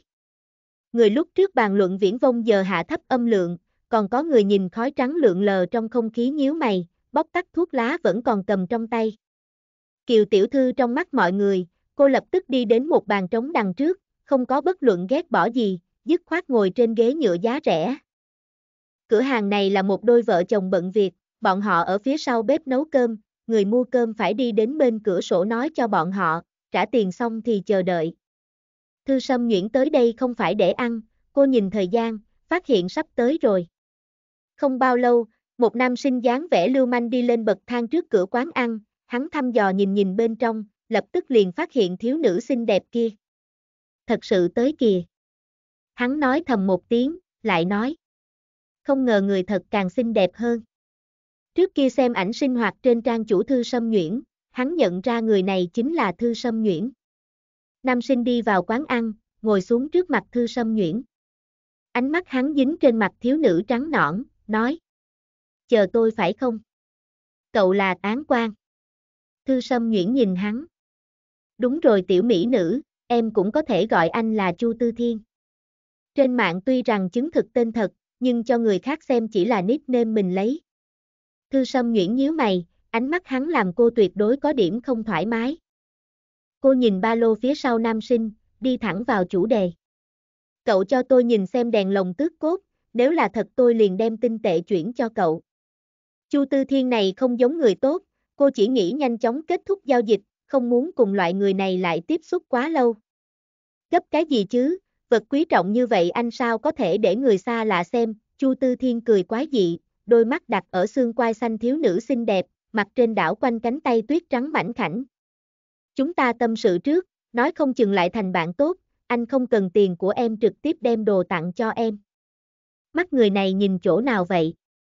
Thư Sâm Nhuyễn có điểm tức giận, mặt lạnh nhạt. Không cần, chỉ cần lấy số tiền mà cậu đã nói trước đây. Nói nhiều với nhau để thêm cảm tình, có duyên phận gặp nhau thì chúng ta nên kết bạn. Anh thích tiểu muội muội xinh đẹp, mỹ nữ thích cái gì hửng. Ngại quá, hôm nay tôi chỉ tới mua đồ. Thư Sâm nhuyễn tăng thêm ngữ khí. Chu Tư Thiên nhìn mặt thiếu nữ nhiễm giận tái đi, trong lòng càng ngứa. Cô em này thật đẹp mắt, nếu là bạn gái hắn thì tốt rồi. Hàng huyên đã nửa ngày, mỹ nữ vẫn chưa nói cho anh biết em tên gì nha. Chu Tư Thiên nói gần nói xa, không chịu đề cập tới chuyện đèn lồng tước cốt. Thư Sâm nhuyễn dần dần không có kiên nhẫn, hỏi. Chắc là cậu không có đèn lồng tước cốt rồi. Sao có thể? Chu Tư Thiên phủ nhận, lại không có ý tứ muốn đem đồ ra chứng minh. Kỳ thật hắn không có, trong lúc vô tình phát hiện tin tức mua bán kia, Chu Tư Thiên liền đến trang chủ người mua nhìn xem. Hắn nhìn ảnh chụp thư sâm nhuyễn, thì muốn treo chọc cô, ảnh cho thư sâm nhuyễn xem là hắn tùy tiện tìm trên mạng. Lời nói đều nói phân thượng, đối phương vẫn là thái độ này, hoặc là hắn không có đèn lồng tước cốt, hoặc là không phải thật tình muốn bán. Thư Sâm Nhuyễn không nghĩ sẽ phải tốn thời gian với hắn nữa, cô đứng dậy rời đi. Ui, tiểu mỹ nữ đừng có gấp nha. Chu Tư Thiên cười hắc hắc, vậy mà trực tiếp bắt cánh tay Thư Sâm Nhuyễn. Thư Sâm Nhuyễn dùng sức hất tay, phiền chán nói. Đừng chạm vào tôi, đừng, không vui sao, anh không có ý khác, chỉ muốn làm bạn em. Chu Tư Thiên trên mặt treo nụ cười đáng khinh, ngón tay cái còn vuốt ve canh tay Thư Sâm Nhuyễn vài cái. Ánh mắt hắn sáng lên, cô gái có tiền này làn da thật tốt, dường như mềm giống vỏ quả vải. Tay hắn ẩm ướt dính dính, như con sâu dính trên cánh tay cô. Thư Sâm Nhuyễn vừa tức vừa bực, nhìn mặt hắn liền thấy ghê tởm. Cậu cút ngay cho tôi. Sao táo bạo như thế, anh chỉ muốn kết bạn với em, Thư Sâm Nhuyễn bực đến hốc mắt đều đỏ, hai đời cô đều chỉ là thiếu nữ 16 tuổi, lần đầu tiên gặp được loại người ghê tởm này. Thư Sâm Nhuyễn nhẹ nhàng liếc nhìn đã có người đứng dậy tưởng sẽ đi tới, cô còn chưa kịp vui mừng, lại phát hiện bạn hắn chỉ chiếc vòng tay cô, rồi nói câu gì đó, người nọ lại ngồi trở lại. Người bê thành lạnh lùng như thế sao? Thư Sâm Nguyễn kinh ngạc lại quể oải. Nhân gia khẳng định là bạn bè nam nữ mâu thuẫn nên gây gỗ, cậu đừng qua xem náo nhiệt. Nhưng mà, cậu nhìn vòng tay cô ta, đấy chính là phiên bản mới nhất, nếu không vui thật sao có thể không khởi động. Hắn nói loại đại tiểu thư này vì sao đến nhà này phá quán ăn, thì ra là do bạn trai. Nhưng mà tiểu thư này ánh mắt thật kém, Chu Tư Thiên có tiếng không làm việc đàng hoàng chơi bời lêu lỏng, lớn lên lại khó coi. Cũng khó trách người trong quán ăn hiểu lầm, vòng tay của Thư Sâm Nhuyễn có hệ thống đầu cuối công phòng an toàn nhất. Dưới tình huống chủ nhân không có ý thức, chịu thương tổn sẽ tự động mở ra hình thức phòng ngự. Công phòng Tấn công, phòng thủ, nếu chủ nhân có ý thức, yêu cầu là có thể khởi động mệnh lệnh công phòng. Đừng nhìn tiểu cô nương tay yếu chân mềm, chỉ cần cô mở ra hệ thống công phòng, năm tiếng hóa giả đại hán muốn đụng cô cũng không có biện pháp, huống chi Chu Tư Thiên chỉ là người thường. Cô gái trước mắt này hết kêu rồi giải dụa, không có mở ra hệ thống công phòng, người quán ăn liền nhận định là đôi tình nhân ve vãn đánh yêu. Chu Tư Thiên cũng không rõ sao lại thế này, nhưng có tiện nghi mà không chiếm thì đúng là ngu ngốc. Hắn không chỉ giữ chặt tay Thư Sâm Nhuyễn, tay khác bám lấy vai cô gái, muốn mang người vào trong lòng ngực. Mắt thấy cử chỉ của hắn càng ngày càng làm càng, Thư Sâm Nhuyễn vừa tức lại vội, cô chú ý tới gia vị phấn ớt cay ở góc bàn, cầm lên ném trên mặt hắn. À, A, nha đầu thúi. Chu Tư Thiên tránh thoát nguy hiểm, nhưng vẫn có một ít dính vào trong mắt. Đôi mắt hắn nóng rát đau, nước mắt chảy ra. Thư Sâm Nhuyễn kinh hoảng thất thố chạy ra ngoài, quay đầu nhìn thấy Chu Tư Thiên che một con mắt đuổi theo. Ven đường có không ít người đi, nhưng Thư Sâm Nhuyễn không chắc cầu cứu bọn họ liệu có ích hay không, rốt cuộc người trong quán ăn đều thờ ơ, thời điểm cô sốt ruột, thấy được một bộ quần áo quen mắt, là đồng phục trường học bọn cô. Thư Sâm Nhuyễn giống như thấy được cứu tinh, chạy về hướng người kia. Hoắc dịch hoài dương mắt liền nhìn thấy một cô gái, cô chạy vội trên đường, làn váy màu trắng tung bay, tựa như con bướm dưới ánh mặt trời bay lả lướt. Hắn không hứng thú liền thu hồi tầm mắt, không ngờ cô gái lao thẳng vào người hắn. Dưới tác dụng quán tính, thư sâm nhuyễn ngã vào trong lòng ngực thiếu niên. Cô không kịp xin lỗi, hoảng loạn mở miệng nói. Bạn học, giúp giúp tôi. Hoắc dịch hoài nhíu mày, cúi đầu nhìn cô. Không biết có phải do quá sợ hãi không, hốc mắt cô gái hồng hồng, da thịt trắng nõn của cô giống ngọc mỡ dê, một mặt hồng nhàn nhạt này liền phá lệ rõ ràng. Tránh ra, thiếu niên dứt khoát lưu loát cự tuyệt, đem thân mình mềm mại từ trong lòng ngực đẩy ra. Cậu, thư sâm nhuyễn không ngờ đối phương lạnh lùng như thế, cô sợ hãi, nói. Tôi cũng là cao trung A Thành, mong cậu giúp đỡ. Đuổi theo cô là một người nam nhân, hoắc dịch hoài liếc mắt đánh giá một cái, không có để trong lòng. Người kia thật yếu, hắn không uổng lực là có thể đánh bại. Ánh mắt hoắc dịch hoài xuống phía dưới, mảnh lông mi dài của cô gái không ngừng run rẩy, con ngươi hổ phách sương mù mênh mông. Vải dệt trên ngực uốn nếp bởi bàn tay trắng nõn của cô gái nắm chặt, tầm mắt nhẹ nhàng, hoắc dịch hoài nhìn đến một chiếc vòng tay nữa trong suốt. Vòng tay đầu cuối mới nhất của đế quốc, có hệ thống công phòng tiên tiến nhất. Cho dù là đứa bé mang lên cái vòng tay này, thì lực lượng đều mạnh hơn năm vị dị năng giả cấp cao. Nói cách khác, hiện tại hoắc dịch hoài cũng đánh không lại cô nương này. Cho nên cô đâm vào trong lòng ngực hắn, muốn hắn hỗ trợ đối phó tên nam nhân yếu đuối như con gà kia. Rốt cuộc là có ý gì?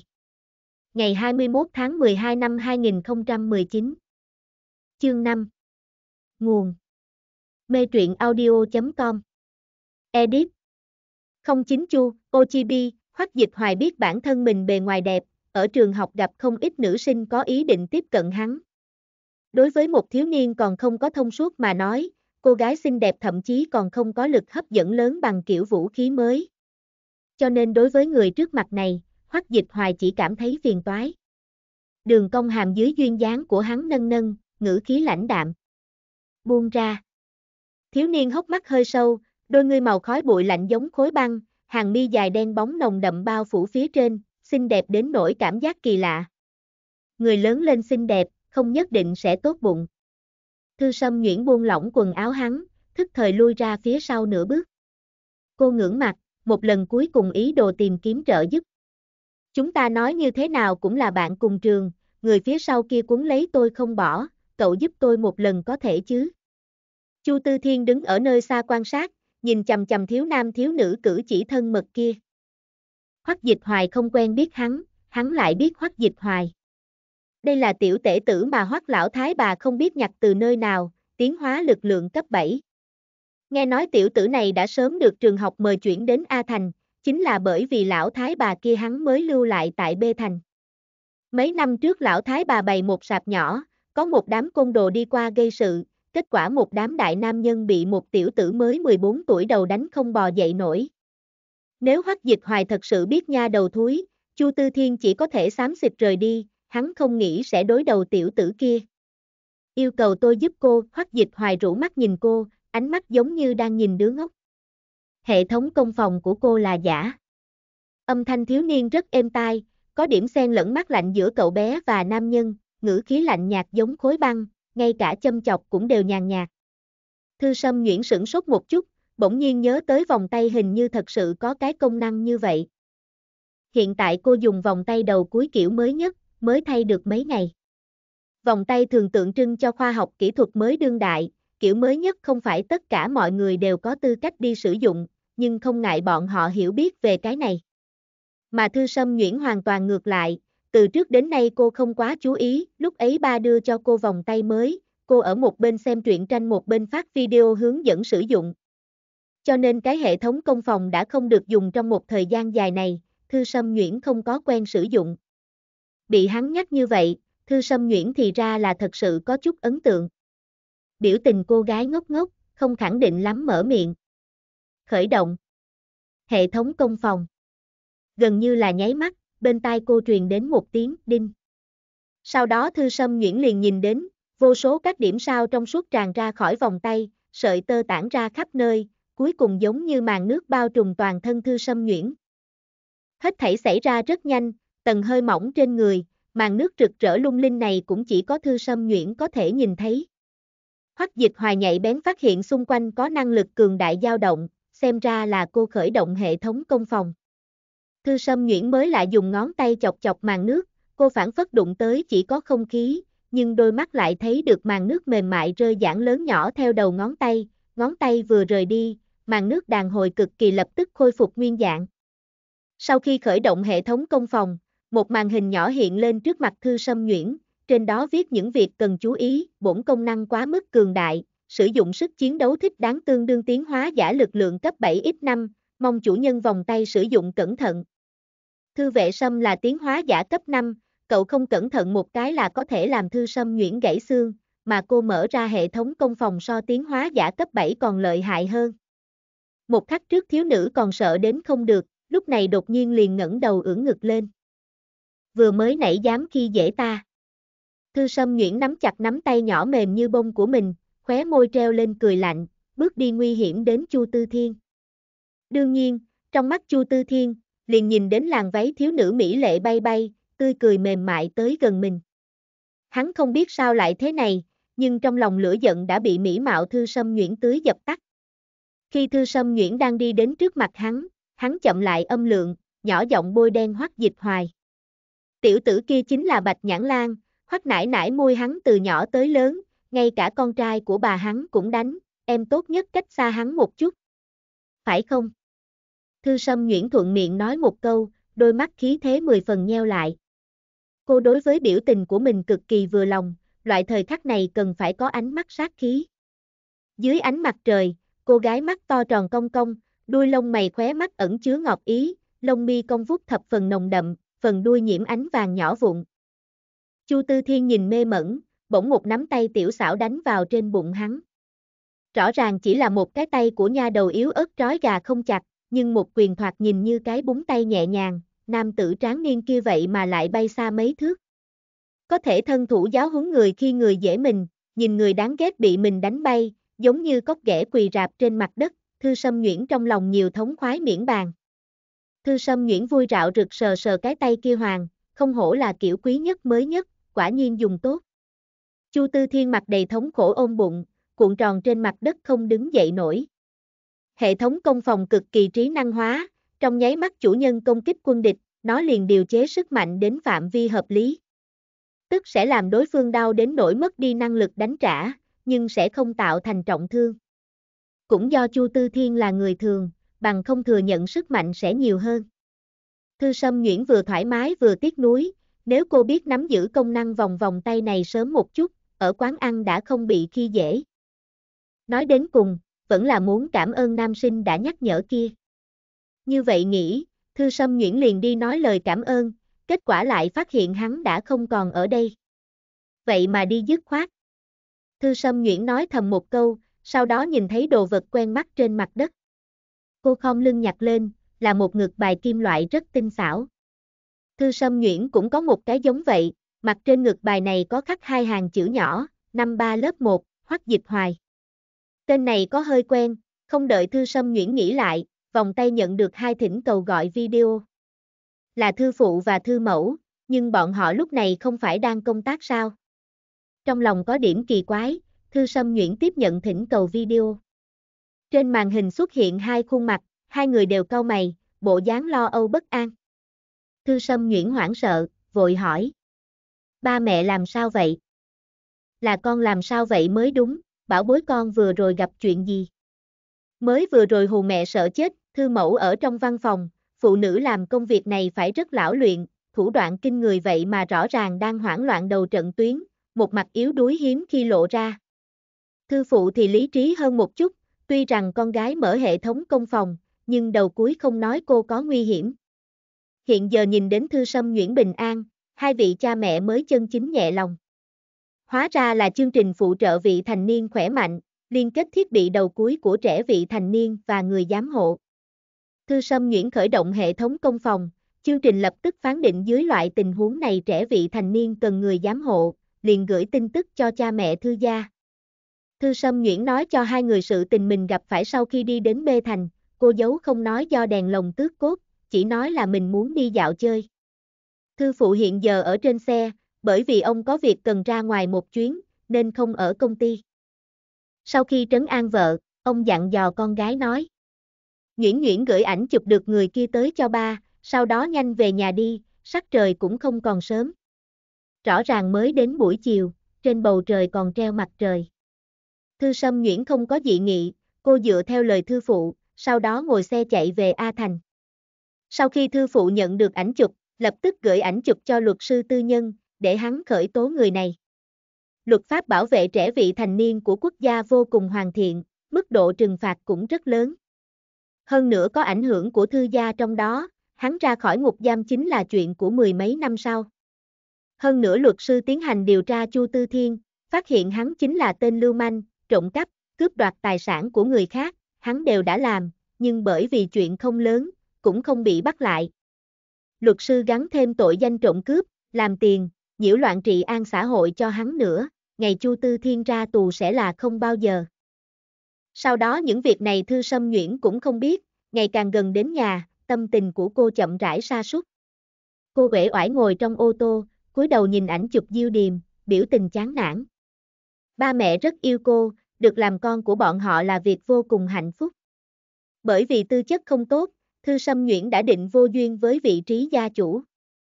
Sau khi sinh thư vệ sâm dị năng lực lượng cấp 5, thư gia mới có người kế tục. Bởi vì cái này, cha mẹ thư gia càng thêm sủng ái con gái. Chẳng sợ thư sâm Nguyễn dị năng tinh thần rất kém cỏi, thành tích ở trường cũng không tốt, cha mẹ thư cũng chưa bao giờ khắc nghiệt với con gái quá. Trước có bọn họ chống, sau có em trai thư vệ sâm, thư sâm Nguyễn chỉ cần khoái hoặc vui sướng là được rồi. Trước khi khôi phục ký ức, thư sâm Nguyễn cũng thỏa mãn hiện trạng, không cảm thấy như vậy có cái gì không tốt. Nhưng giờ phút này, thư sâm Nguyễn nhanh bị đè sập bởi sự hối hận che trời lấp đất.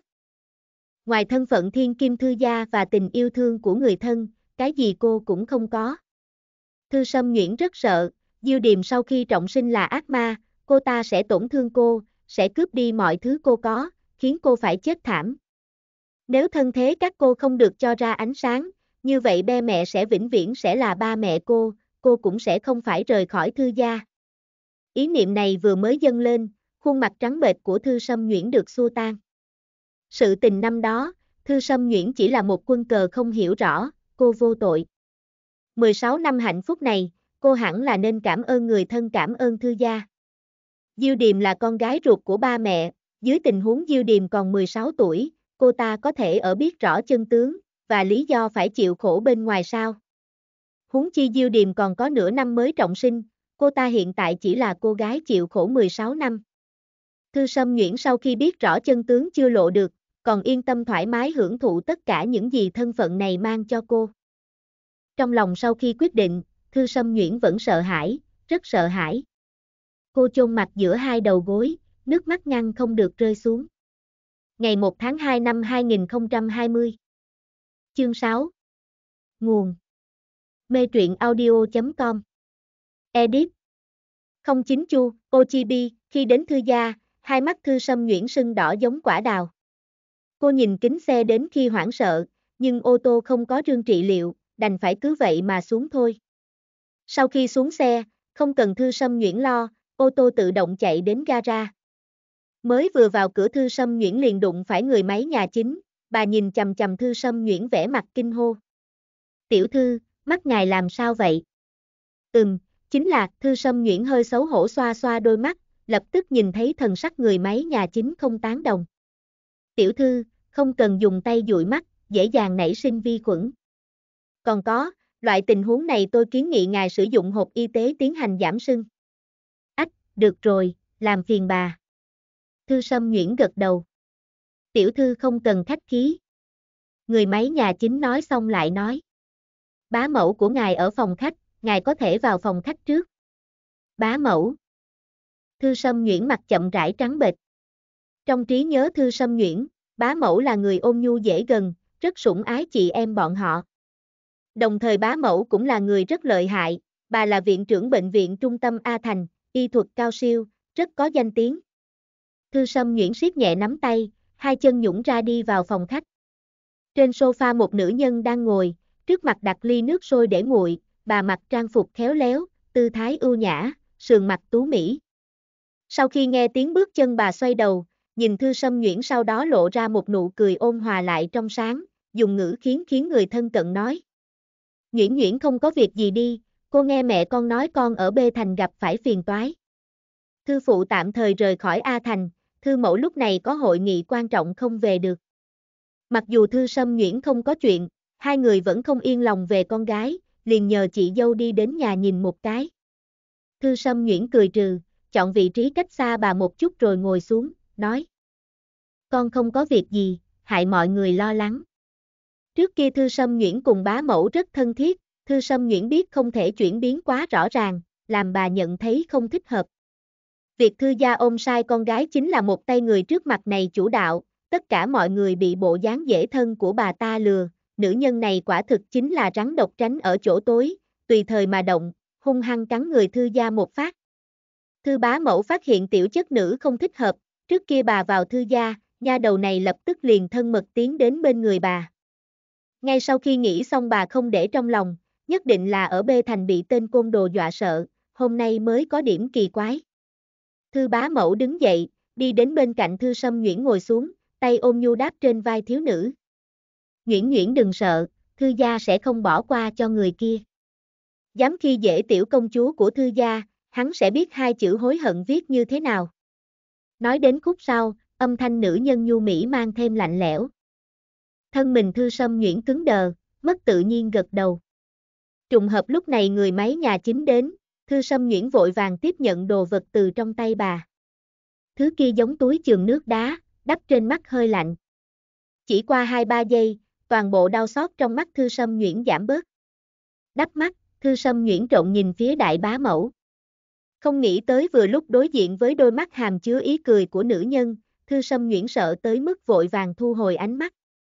Thư bá mẫu nhìn qua khí sắc rất tốt, nhưng thư sâm nhuyễn biết, bà đã bệnh thời kỳ cuối, chống được đến ăn Tết là qua đời.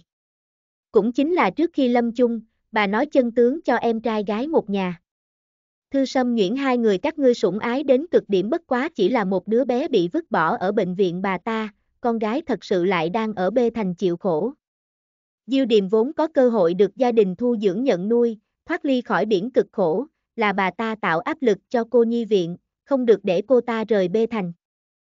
Thư bá mẫu hận một nhà thư sâm nhuyễn. Thư đại bá và thư bá mẫu thời trẻ đều là sinh viên học viện y, hai người tình đầu ý hợp, bên nhau khi còn ở trường học. Sau khi tốt nghiệp, hai người một đi bệnh viện thành phố, một ở phòng thí nghiệm nghiên cứu kiểu thuốc mới, ngày tháng trôi qua thật hạnh phúc.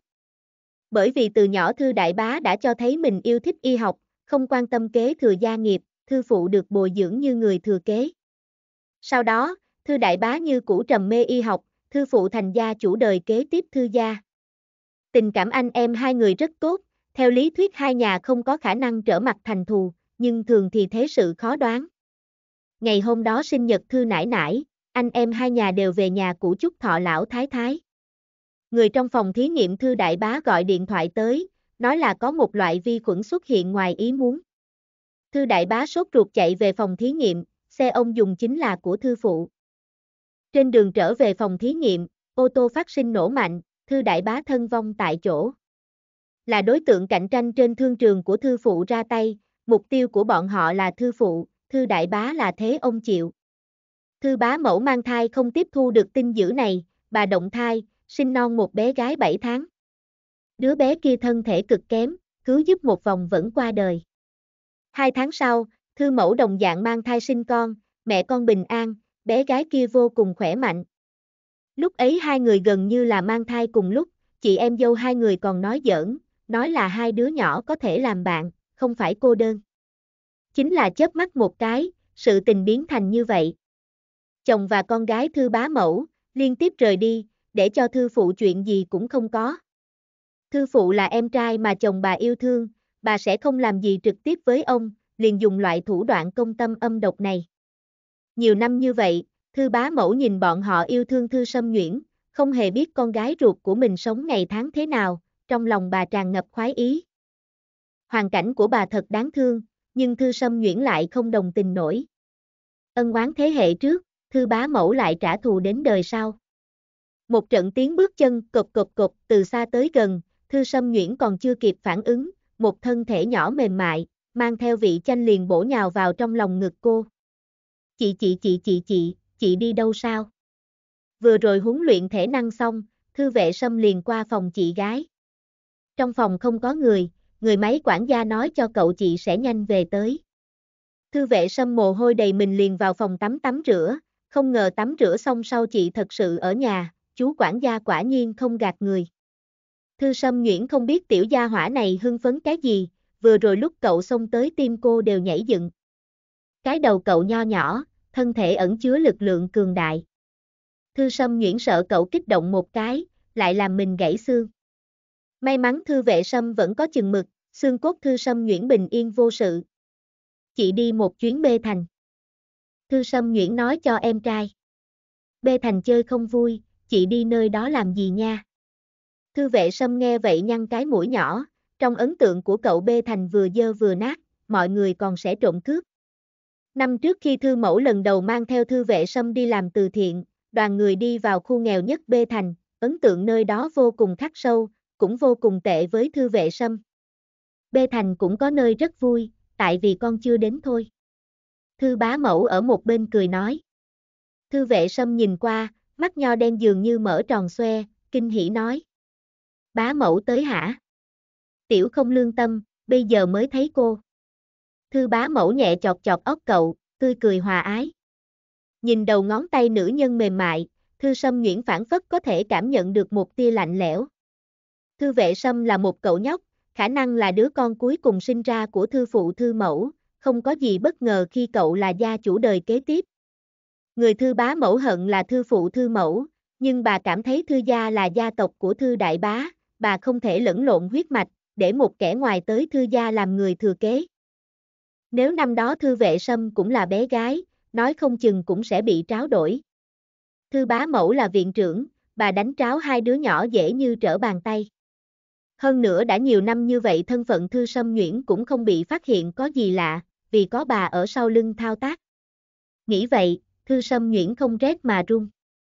Cô muốn vệ vệ cách xa bá mẫu một chút, lại không có cái cớ hợp lý. Vệ vệ có lương tâm mà. Thư vệ sâm phòng mặt lên phản bác nói, đừng nhìn cậu nhỏ, cậu biết rất nhiều, không lương tâm không phải một lời ca ngợi. Nha, vậy con thế nào bây giờ mới thấy cô? Thư bá mẫu chọc cậu. Cậu bé sửng sốt, hai hàng lông mày nhàn nhạt cùng nhau nhíu lại. Cậu vắt hết óc nghĩ nghĩ, rốt cuộc nghĩ ra ý kiến hay. Là bởi vì đại bá mẫu lại đẹp lên. Con phản ứng trong chốc lát mới nhận ra người này là đại bá mẫu. Có tiểu lãm nhảm thư vệ sâm này hấp dẫn lực chú ý, đại bá mẫu không có nói chuyện với thư sâm nhuyễn. Một lát sau thư mẫu trở lại, thư bá mẫu liền nói bệnh viện còn có chuyện, nên không ở lại ăn cơm. Thư sâm Nguyễn không biết bà thật sự có việc, hay bởi vì thư mẫu. Thư mẫu không tin lời cô nói, còn có hơi ấy nấy, hôm nay nhờ chị dâu về đến nhà nhìn xem Nguyễn Nguyễn, cũng không biết có khiến chị dâu chậm trễ công tác không. Thư bá mẫu đi rồi, thư mẫu giữ chặt con gái nhìn từ trên xuống dưới vài lần, rồi bắt đầu nhắc mãi. Tại sao con một mình ra khỏi thành vậy? Lá gan quá lớn, mẹ đều bị con dọa sợ, thật là, nếu muốn đi chơi cũng nên mang theo người, thư sâm nhuyễn tự biết mình không đúng, cô ngoan ngoãn nhìn thư mẫu, nghiêm túc nghe bà lải nhải, còn thỉnh thoảng rất phối hợp gật đầu. Con gái ngoan như vậy, thư mẫu nhắc mãi không nổi nữa. Bà bất đắc dĩ nhéo mặt con gái, chỉ nhắc nhở trong lòng chính mình, phải coi trọng hơn vấn đề an toàn của con cái. Thấy mẹ ngừng lại, thư vệ sâm vội nói. Mẹ, tiếp theo con phạm sai lầm mẹ cũng đừng mắng con nha. Thư mẫu nhớ mày, hỏi. Vì sao? Lần này con không phạm sai lầm, còn cùng chị cùng nghe mẹ giáo huấn. Hại con quá, cho nên lần sau mẹ không thể mắng con nữa. Thư vệ sâm nghiêm túc giải thích. Thư mẫu nhéo tiểu thịt trên mặt cậu, vừa tức giận vừa buồn cười. Là con thông minh.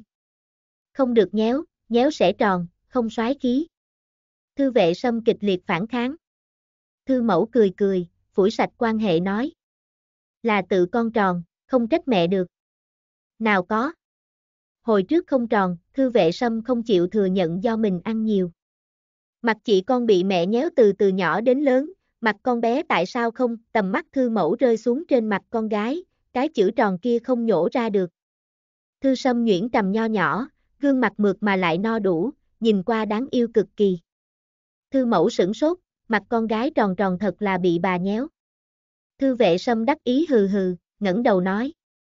Xem đi, con nói sẽ bị nhéo cho tròn mà. Thư mẫu nhìn không được tiểu tử này khoe khoang, vỗ nhẹ cái trán cậu, tròn thì tròn, giống chị con không tốt sao? Con xem chị lớn lên thật xinh đẹp.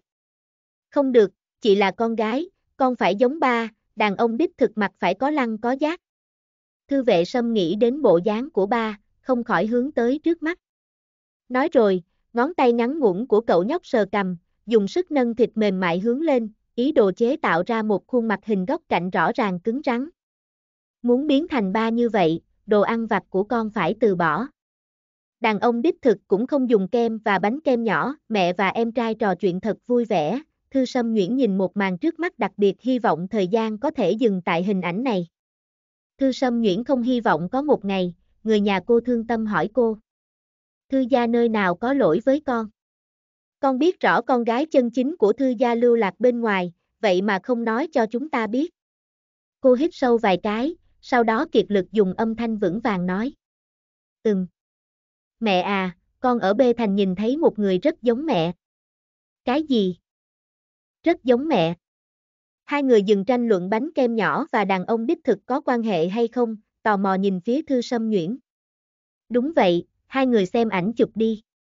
Thư sâm nhuyễn ấn tay xuống, một bức ảnh chụp hiện lên trước mặt ba người, 2, 2, 2020. Chương 7 Nguồn Mê truyện audio.com Edit Không chính chu, OGB, trong không khí có 10 giây đồng hồ yên tĩnh, thư sâm nhuyễn cúi đầu, đắm chìm giữa khổ sở nào đó.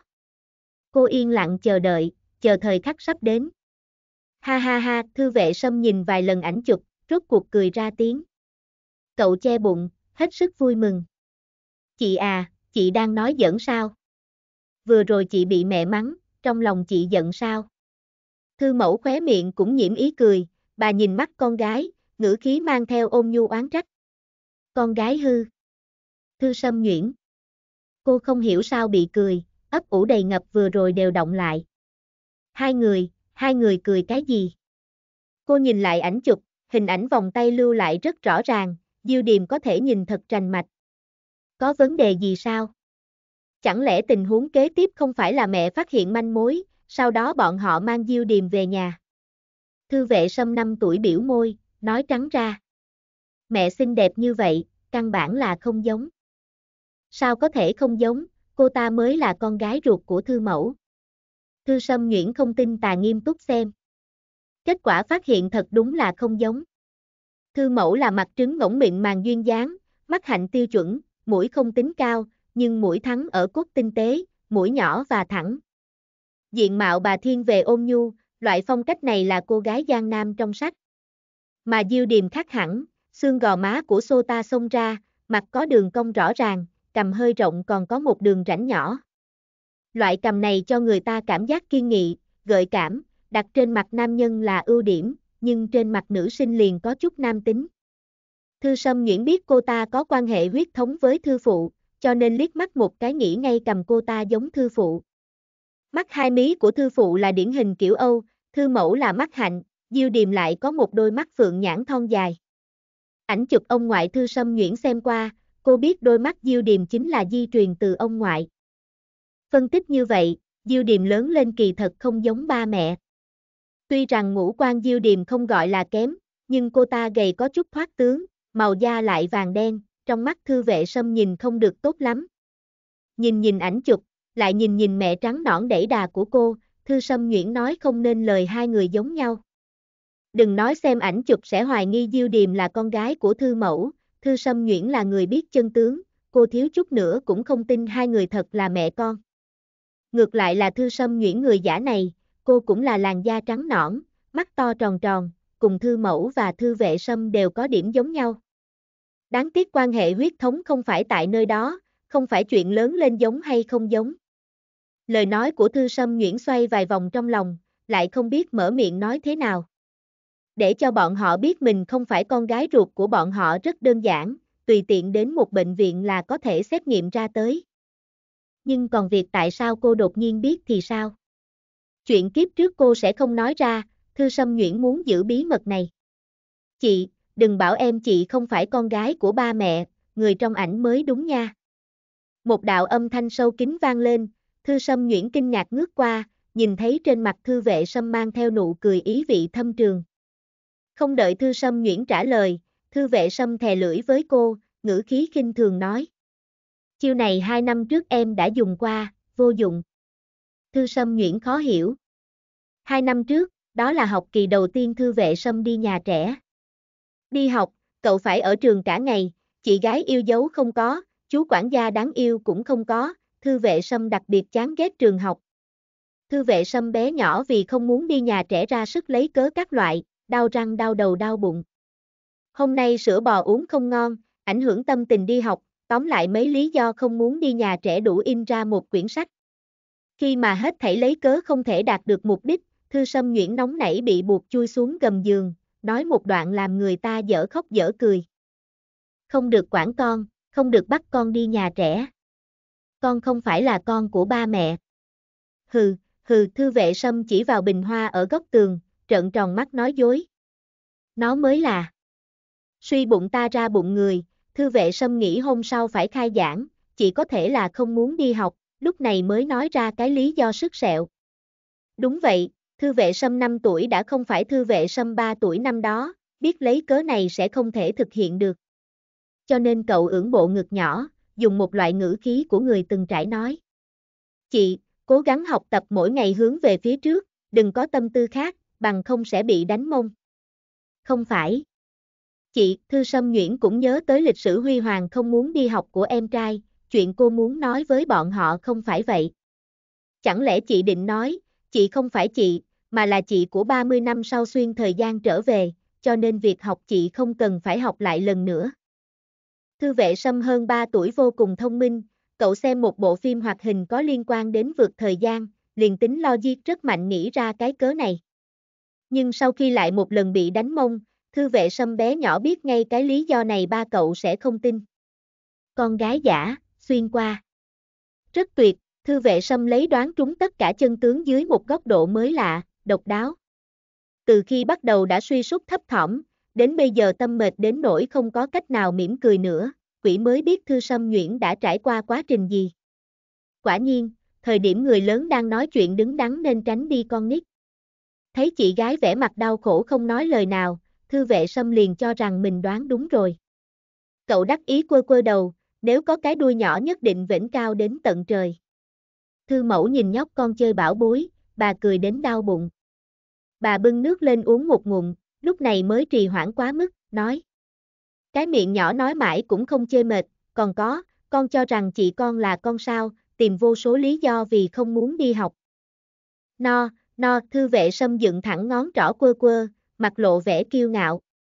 Con đã không phải con của lúc xưa, huống hồ con so với chị lợi hại hơn nha, thứ hạng kỳ thi của con không bao giờ nằm ngoài top 10 toàn lớp. Thư Sâm Nhuyễn Cô không có biện pháp phản bác. Sau khi từ vệ vệ hiểu không đi học là không có khả năng, cậu liền kiên định học tập, hơn nữa thành tích rất tuyệt. Đứa nhỏ này thức thời lại thông minh, lợi hại hơn Thư Sâm Nhuyễn nhiều. Thư mẫu sợ con gái xấu hổ, giúp đỡ biện giải.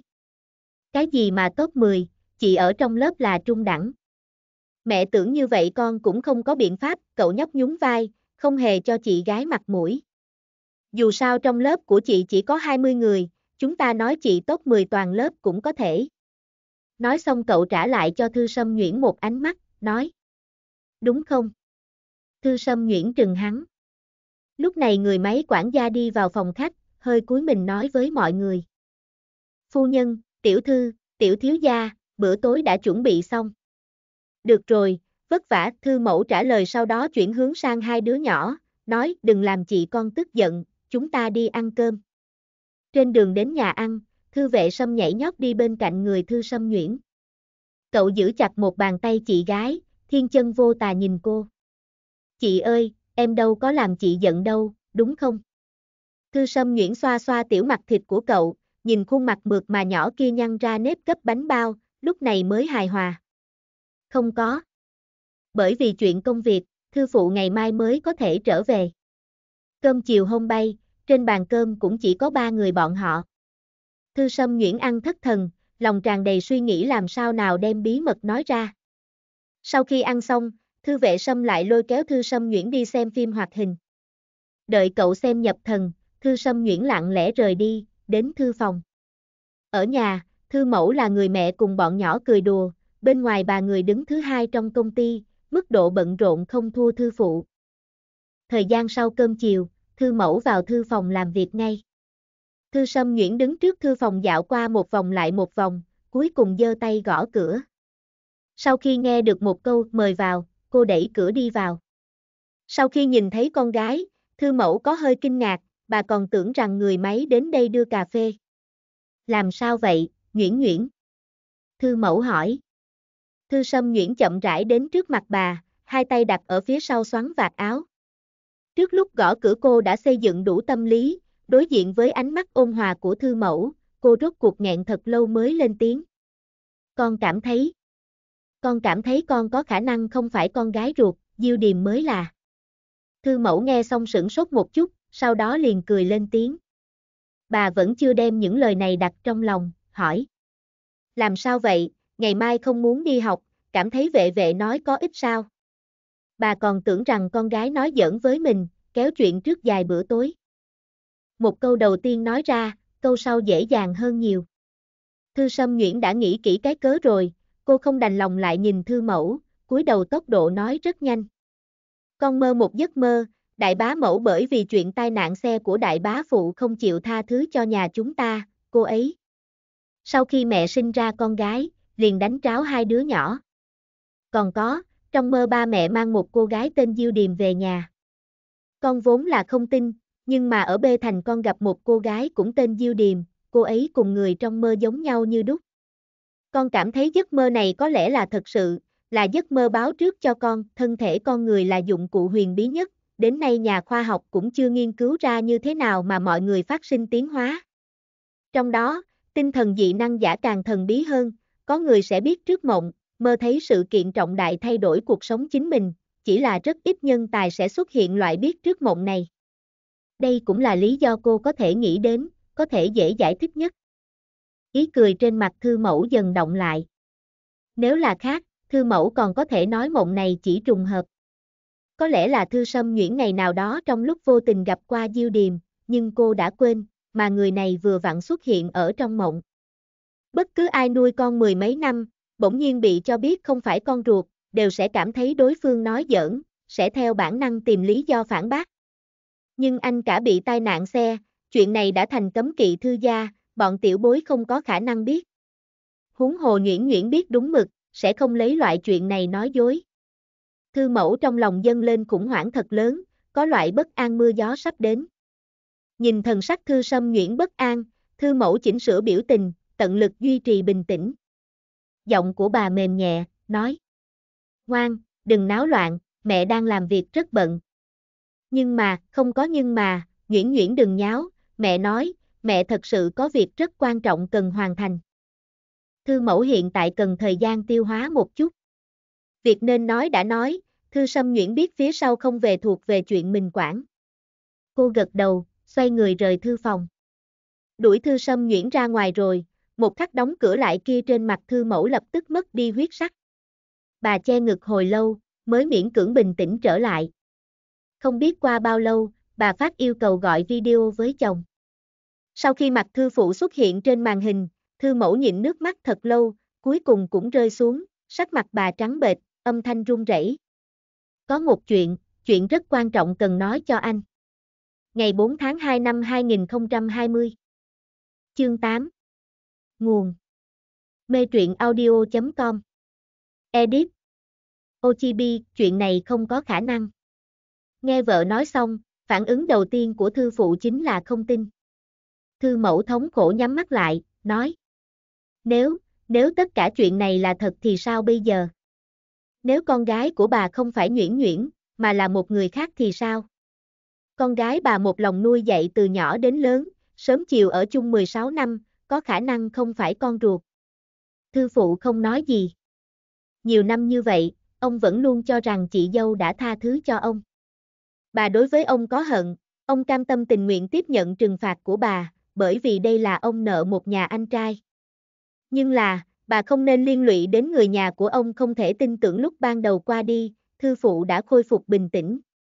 Bây giờ suy nghĩ cũng không có ích gì, anh cho người, cho người hiện tại đi điều tra ngay. So với vợ hoảng loạn thấp thỏm, làm gia chủ thư gia ông rõ ràng lý trí hơn.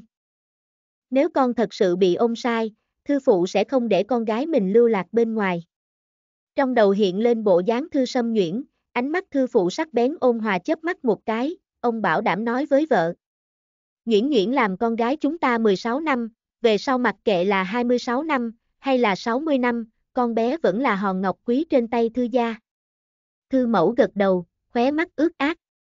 Hy vọng Nguyễn Nguyễn nói sai, cô vẫn là con gái bảo bối của bọn họ, tất cả đều sẽ không thay đổi. Một tập phim hoạt hình kết thúc, khúc nhạc kết quen thuộc vang lên. Thư vệ sâm xem chưa đã thèm, cậu tiếc núi thở dài, trên mặt tròn tròn tất cả đều là buồn rầu. Vì sao thời gian vui vẻ nhanh như vậy đã hết, đúng không nha, chị gái? a à, chị đâu? Thư vệ sâm nghi hoặc nhìn chỗ trống bên cạnh. Cậu gãi gãi tóc, chạy lên lầu tìm thư sâm nhuyễn. Nhưng cửa phòng ngủ đóng chặt, thư vệ sâm gõ một hồi, bên trong vẫn là không có động tĩnh. Ngủ sớm như vậy. Cậu nhóc biểu môi, không mấy vui vẻ rời đi. Giữa phòng ngủ, thư sâm Nguyễn nghe được tiếng gõ cửa. Nhưng cô không dám ra mở, cô không biết nên đối mặt với người nhà như thế nào, hiện tại cô tựa như đang chờ đợi một bản tuyên án. Thư sâm Nguyễn núp trong chăn, giường công chúa xa hoa mềm như bông, cả người đều phản phất như lâm vào mây. Giường mềm mại không chân thật, Thư Sâm Nguyễn cũng cảm thấy tất cả mọi thứ không chân thật. Nếu có thể, Thư Sâm Nguyễn hy vọng hết thảy chỉ là giấc mơ của cô, buổi sáng ngày mai vừa mở mắt ra, không có diêu điềm, cô vẫn là con gái của ba mẹ. Thư Sâm Nhuyễn khóc thật lâu, không biết đã ngủ khi nào. Cô mơ một giấc mơ, trong mộng một mảnh không gian trắng xóa, duy chỉ có một quyển sách. Bìa sách in mấy chữ to, thiên kim nghịch tập trở về vị trí cũ. Thư Sâm Nhuyễn mở ra, nhìn chương một chính là miêu tả dưới góc nhìn của vai chính, Diêu Điềm lần đầu tiên nhìn thấy cô thật ra không phải ở thư gia, mà là ở khách sạn, một phòng yến hội xa xỉ hoa lệ người xã hội thượng lưu A thành tụ tập một đường, vì hòn ngọc quý trên tay thư gia chúc mừng sinh nhật 14 tuổi, mà Diêu Điềm ở nơi đó làm công kiếm học phí. Tiểu công chúa trên mặt mang theo nụ cười ngọt ngào, tiếp nhận chúc phúc của mọi người. Cô xoay người, Diêu Điềm lại phát hiện trên mặt tiểu công chúa thiếu hứng thú. Yến hội sinh nhật tựa như truyện cổ tích, Diêu Điềm là cô nhi ngay cả sinh nhật mình cũng không biết, dù có nằm mơ cũng không dám hy vọng xa vời. Mà đối với cô gái tuổi tác không sai biệt với cô lắm này lại rất bình thường, thậm chí còn cảm giác không thú vị. Diêu Điềm trong lòng truyền đến chua xót mãnh liệt, cô gục đầu xuống, không hề nhìn cô gái giống công chúa kia.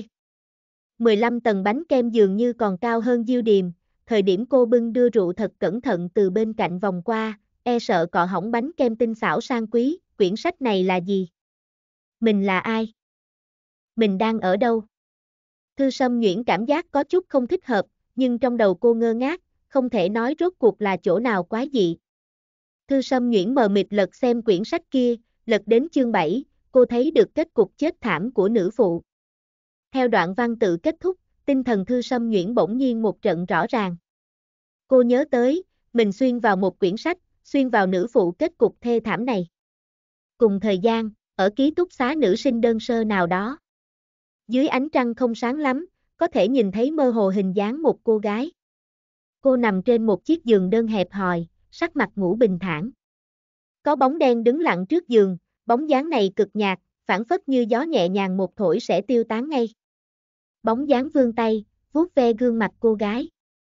Nó bỗng nhiên cười, trong âm thanh nghẹn ngào mang theo điên cuồng sướng ý, rốt cuộc ta đã trở về.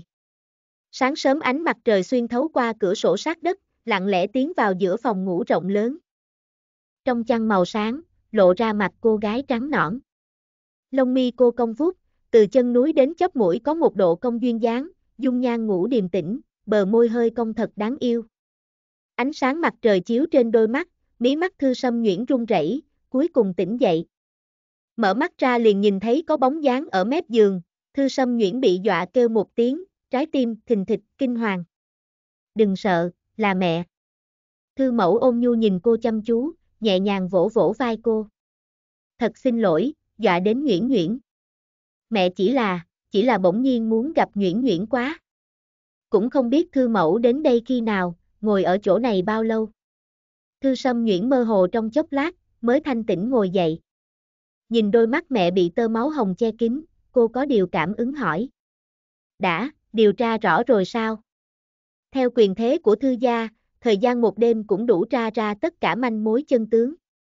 Thư mẫu cuối cùng nhịn không được, bà gắt gao ôm cô gái trước mặt vào trong lòng ngực, nước mắt bà không ngừng trào ra.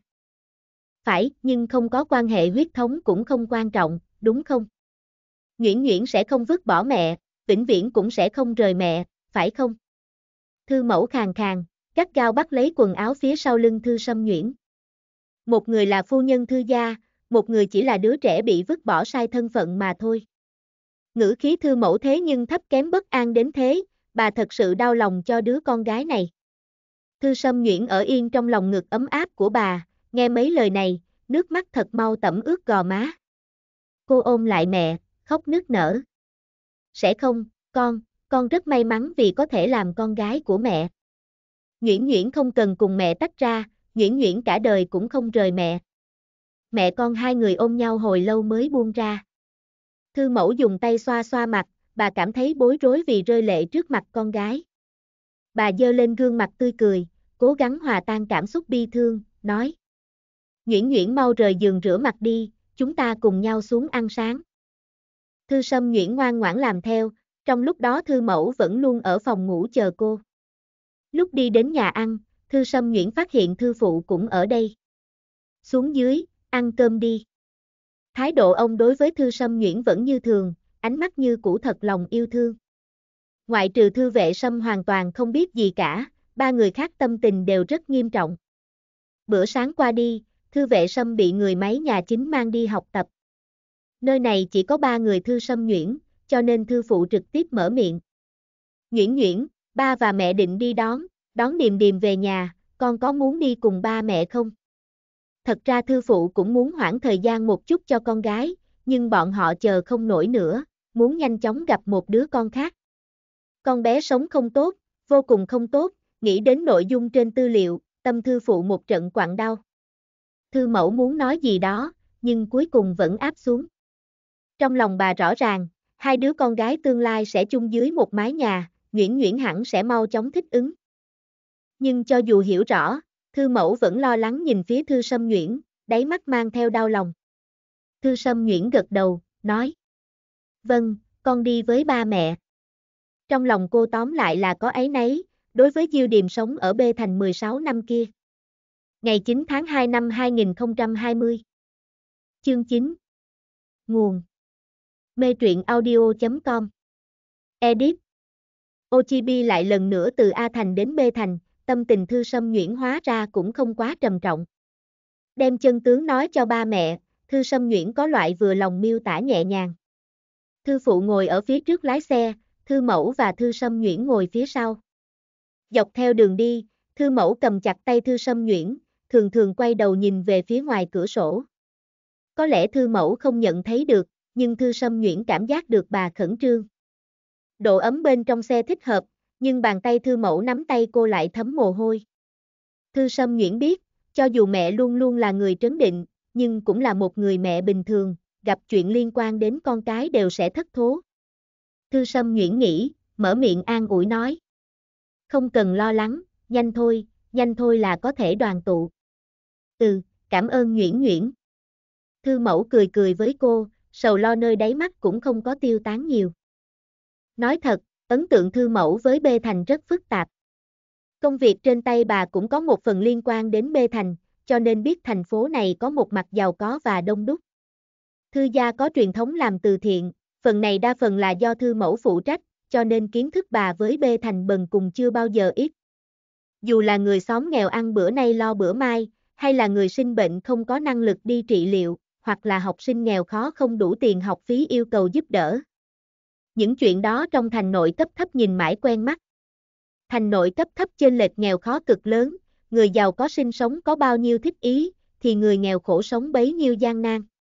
Thư mẫu khó có thể tưởng tượng, Diêu Điềm là một cô nhi, rốt cuộc là đã lớn lên trong những ngày tháng thế nào. Trước kia nhìn những đứa trẻ xóm nghèo, bà đều cảm thấy đáng thương vô cùng. Nhưng những đứa trẻ đó tốt xấu còn có người nhà chăm sóc, mà con gái của bà lại không nơi nương tựa. Thư mẫu lại rơi vào trầm tư, thư sâm nhuyễn nhìn bà một cái, cũng không biết nên nói cái gì. Cô nghĩ, lát nữa gặp được Diêu Điềm cô nên làm gì bây giờ? Cho dù năm đó cô chỉ là đứa trẻ mới sinh ngây thơ, nhưng sự thật chính là cô làm thiên kim thư gia 16 năm, mà thân phận này vốn nên là của Diêu Điềm chịu 16 năm khổ sở. Cô nên làm thế nào, Diêu Điềm mới có thể tốt hơn một ít? Thư Sâm nhuyễn nghĩ như vậy, tâm tình lại lần nữa trầm trọng. Dọc theo đường đi, chân mày thư mẫu cũng không giãn ra quá. Cuối cùng, bọn họ tới nơi, ô tô chậm rãi ngừng ở cửa trường học. Thư phụ xuống xe, không biết nói gì với nhân viên bảo vệ, nhân viên cho phép bọn họ chạy ô tô vào.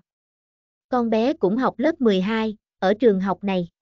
Thư mẫu nhìn phía ngoài cửa sổ, đánh giá ngôi trường, một bên nói với Thư Sâm Nhuyễn. Trong lòng bà muốn cho Thư Sâm Nhuyễn quen với Diêu Điềm, hai đứa con gái có thể hòa thuận sống chung. Thư Sâm Nhuyễn nghiêm túc nghe mẹ nói, cô muốn như mong muốn của mẹ. Ít nhất trước khi Diêu Điềm trọng sinh, các cô có thể bình yên qua nửa năm. Trường học loại 3B thành chỉ có thể xem như trường học kém hơn bậc trung, khu dạy học cũ xưa, thiết bị dạy học cũng không tiên tiến. Có điều bởi vì học phí ổn, người đi học ở đây cũng không có câu oán hận nào. Thành tích khảo thí của Diêu Điềm từ sơ trung lên cao trung khá tốt, nhưng học phí trường loại 2 ở B thành quá đắt, cô ta không đủ sức. Mà trường loại 3 ở B thành còn cung cấp chỗ ở miễn phí, Diêu Điềm đã sớm không nghĩ ở lại cô nhi viện, cho nên cô ta liền lựa chọn nơi này. Nói tới đây, trong mắt thư mẫu xẹt qua vẻ đau xót. Thư sâm nhuyễn cầm lại tay bà, yên lặng an ủi. Ô tô cuối cùng ngừng trước một đống ký túc xá, cửa lớn ký túc xá là cảm ứng trí năng, người không có thẻ thân phận thì không vào được. Thư phụ xem qua tư liệu, ngày cuối tuần Diêu Điềm đều sẽ đi làm thêm, 9 giờ rưỡi cô sẽ ra cửa. Hôm nay là chủ nhật, Diêu Điềm cũng sẽ ra ngoài vào thời gian này. Ba người chờ đợi trong xe, có vài vị nữ sinh ra khỏi cửa. Bỗng nhiên, có một bóng dáng thư sâm nhuyễn quen mắt xuất hiện. dáng người cô ta cao gầy, mặc áo tay ngắn cùng quần jean bình thường, chân và cánh tay đều rất dài, gầy đến nỗi có chút kinh người. Dường như một khắc nhìn đến cô ta, thư phụ và thư mẫu đều xuống xe. Thư Sâm Nguyễn càng thêm khẳng định mình không nhận sai, người này chính là Diêu Điềm. Thư phụ và thư mẫu bước nhanh đi đến ngăn cản trước mặt Diêu Điềm. Cách cửa sổ pha lê của xe, Thư Sâm Nguyễn không nghe thấy thư phụ nói gì với cô ta. Thư phụ và thư mẫu đưa lưng về phía cửa sổ xe, Thư Sâm Nguyễn cũng nhìn không thấy biểu tình của bọn họ. Cô thấy trên mặt Diêu Điềm xuất hiện kinh ngạc, mới đầu là không tin lắc đầu, sau đó đôi mắt đỏ lên.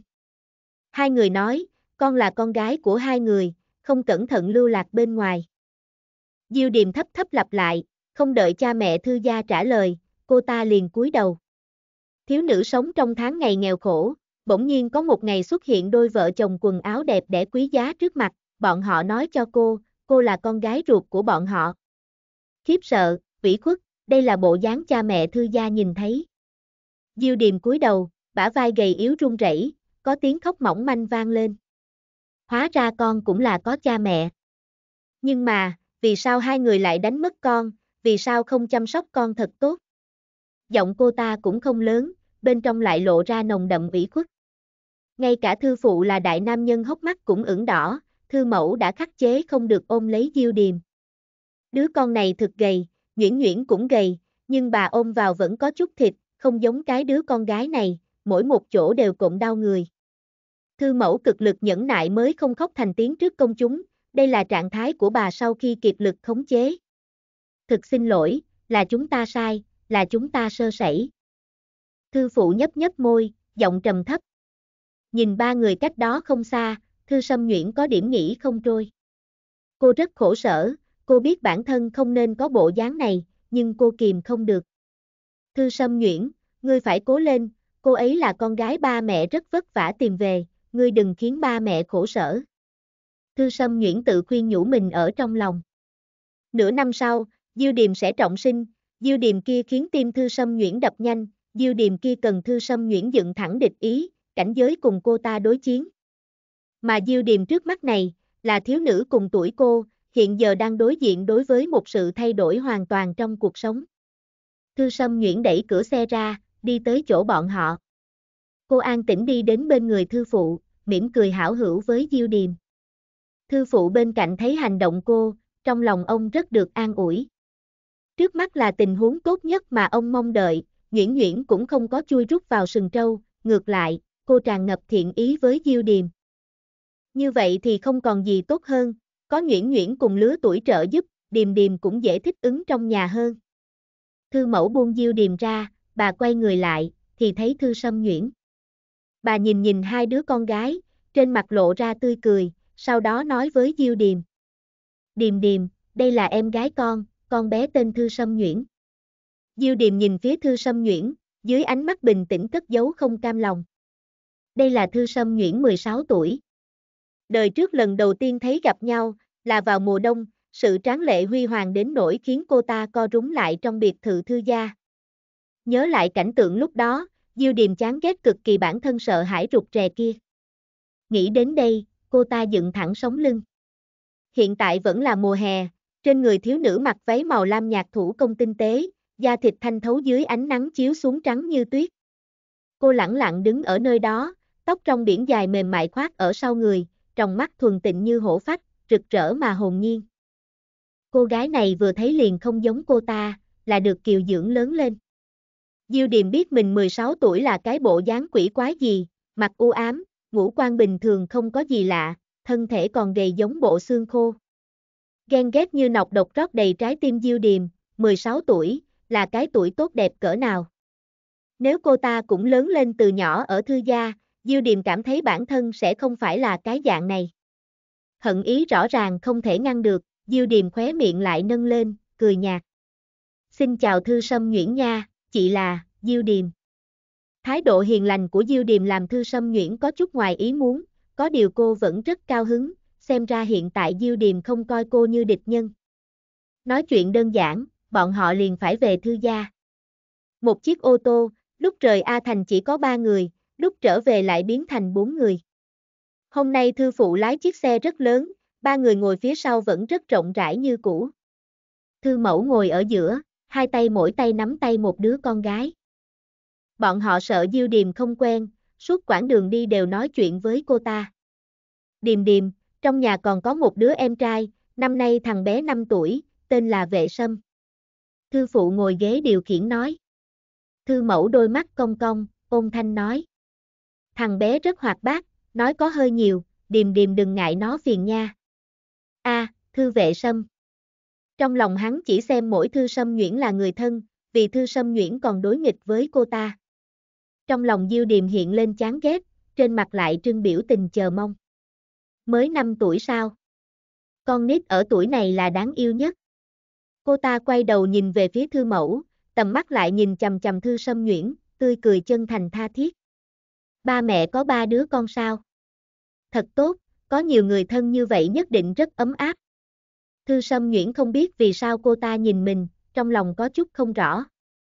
Mẹ, con muốn biết, lúc trước tại sao con lại rời khỏi hai người vậy à? Diêu Điềm quen thuộc gọi ra cái xưng hô này, trong giọng nói cô ta không có chút nào mới lạ. Thư Sâm Nguyễn không khỏi cảm thán, Diêu Điềm thích ứng rất nhanh, quả nhiên là có quan hệ huyết thống. Vấn đề này liên quan đến ân oán đời trước, Thư Sâm Nguyễn không nên xen vào, cô cứ yên lặng ngồi. Con và Nhuyễn Nhuyễn là song bào thai, lúc trước sau khi sinh hạ các con, con bị người xấu mang đi. Thư mẫu nói. Thư Sâm Nhuyễn kinh ngạc nhìn qua, tay lại bị Thư mẫu dùng sức nắm một chút. Bà không đợi Thư Sâm Nhuyễn đặt câu hỏi, liền nói tiếp. Lúc ấy ba con ở trong kinh doanh đắc tội một ít người, bọn họ không dám bên ngoài phục thù nhà chúng ta, mà âm thầm xuống tay, trộm con ở bệnh viện. Ba mẹ tìm thật nhiều năm, rốt cuộc cũng tìm được con. Không phải như thế. Thư Sâm Nguyễn không phải con gái thư gia, cô ta chỉ là một đứa trẻ bị cha mẹ vứt bỏ. Mặt diêu điềm đỏ lên, khí ngực phập phồng. Thư mẫu phát hiện cô ta khác thường, vội hỏi nói. Điềm điềm làm sao vậy? Dựa vào cái gì, dựa vào cái gì không nói cho tôi chân tướng. Cô ta nhìn phía trước, thư phụ không có bất kỳ phản ứng gì, hiển nhiên ông đã cùng thư mẫu thương lượng xong, Diêu Điềm nhắm mắt lại, miễn cưỡng khôi phục bình tĩnh, cô ta giải thích nói. Là con quá tức giận, những người đó thật đáng giận, làm hại chúng ta tách ra nhiều năm như vậy. Ba mẹ sẽ không bỏ qua cho bọn họ, Điềm Điềm yên tâm đi, về sau chúng ta là người một nhà sẽ vĩnh viễn ở bên nhau. Nhà của chúng ta điều kiện khá tốt, ở A Thành là, kế tiếp, thư mẫu lại giới thiệu tình huống trong nhà với Diêu Điềm. Diêu Điềm mặt ngoài nghiêm túc nghe, kỳ thật tâm tư căn bản không ở nơi đó. Đời trước là mùa đông cô ta được thư gia nhận về, khi đó tiện nhân Yến Cảnh Thanh kia bệnh sắp chết, mới thông báo sự tình thư gia ôm sai con gái cho thiên hạ. Xã hội thượng lưu A thành ai cũng biết, thư sâm nhuyễn chỉ là thiên kim giả, thư phụ thư mẫu cho dù muốn giữ kín cũng đã trễ. Nhưng đời này thư phụ thư mẫu vậy mà lại xuống tay trước, còn an bài thỏa đáng cho thư sâm nhuyễn. Diêu Điềm không biết là nơi nào sai, hiện tại lòng cô ta tràn đầy không cam lòng. Khi hệ thống giúp cô ta đoạt lại thân thể đã hao phí quá nhiều năng lượng, thỉnh thoảng lâm vào trạng thái ngủ đông, cô ta hiện tại không có cách nào hỏi nó. Cô ta muốn chất vấn thư mẫu, nhưng cô ta hẳn phải là cái gì cũng không biết. Muốn hỏi lại không thể hỏi, trong lòng Diêu Điềm nghẹn khuất cực kỳ. Thư Sâm Nguyễn mới đầu rất khó hiểu, sau đó cô lại hiểu rõ khổ tâm của cha mẹ Thư gia. Nếu Thư Sâm Nguyễn cũng là con gái ruột của Thư gia, như vậy cô sẽ không lâm vào hoàn cảnh xấu hổ. Mà Diêu Điềm cũng sẽ không cảm thấy Thư Sâm Nguyễn chiếm đoạt cuộc sống cô ta, dẫn đến sinh ra oán hận. Xuất phát từ góc độ của cha mẹ, bọn họ thật sự hy vọng hai đứa con gái đều có thể sống tốt. Nhưng Thư Sâm Nguyễn biết khổ tâm của bọn họ chú định là sẽ uổng phí, nửa năm sau Diêu Điềm trọng sinh, khi đó không những biết tất cả chân tướng, mà còn còn cực kỳ hận Thư Sâm Nguyễn. Thư Sâm Nguyễn nhìn mắt Thư Mẫu, rốt cuộc không nói thêm gì. Đây là một mảnh khổ tâm của ba mẹ, ngay cả khi nó chỉ là phí công.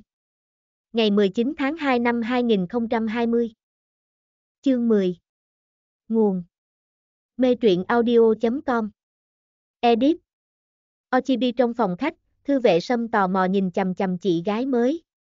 Thư vệ sâm cảm thấy rất kỳ quái, ba mẹ bọn họ đi ra ngoài một chuyến, tự dưng trong nhà bỗng nhiều ra một người chị vậy. Năm tuổi đã là cái tuổi thể nghe hiểu lời nói, huống chi thư vệ sâm rất thông minh.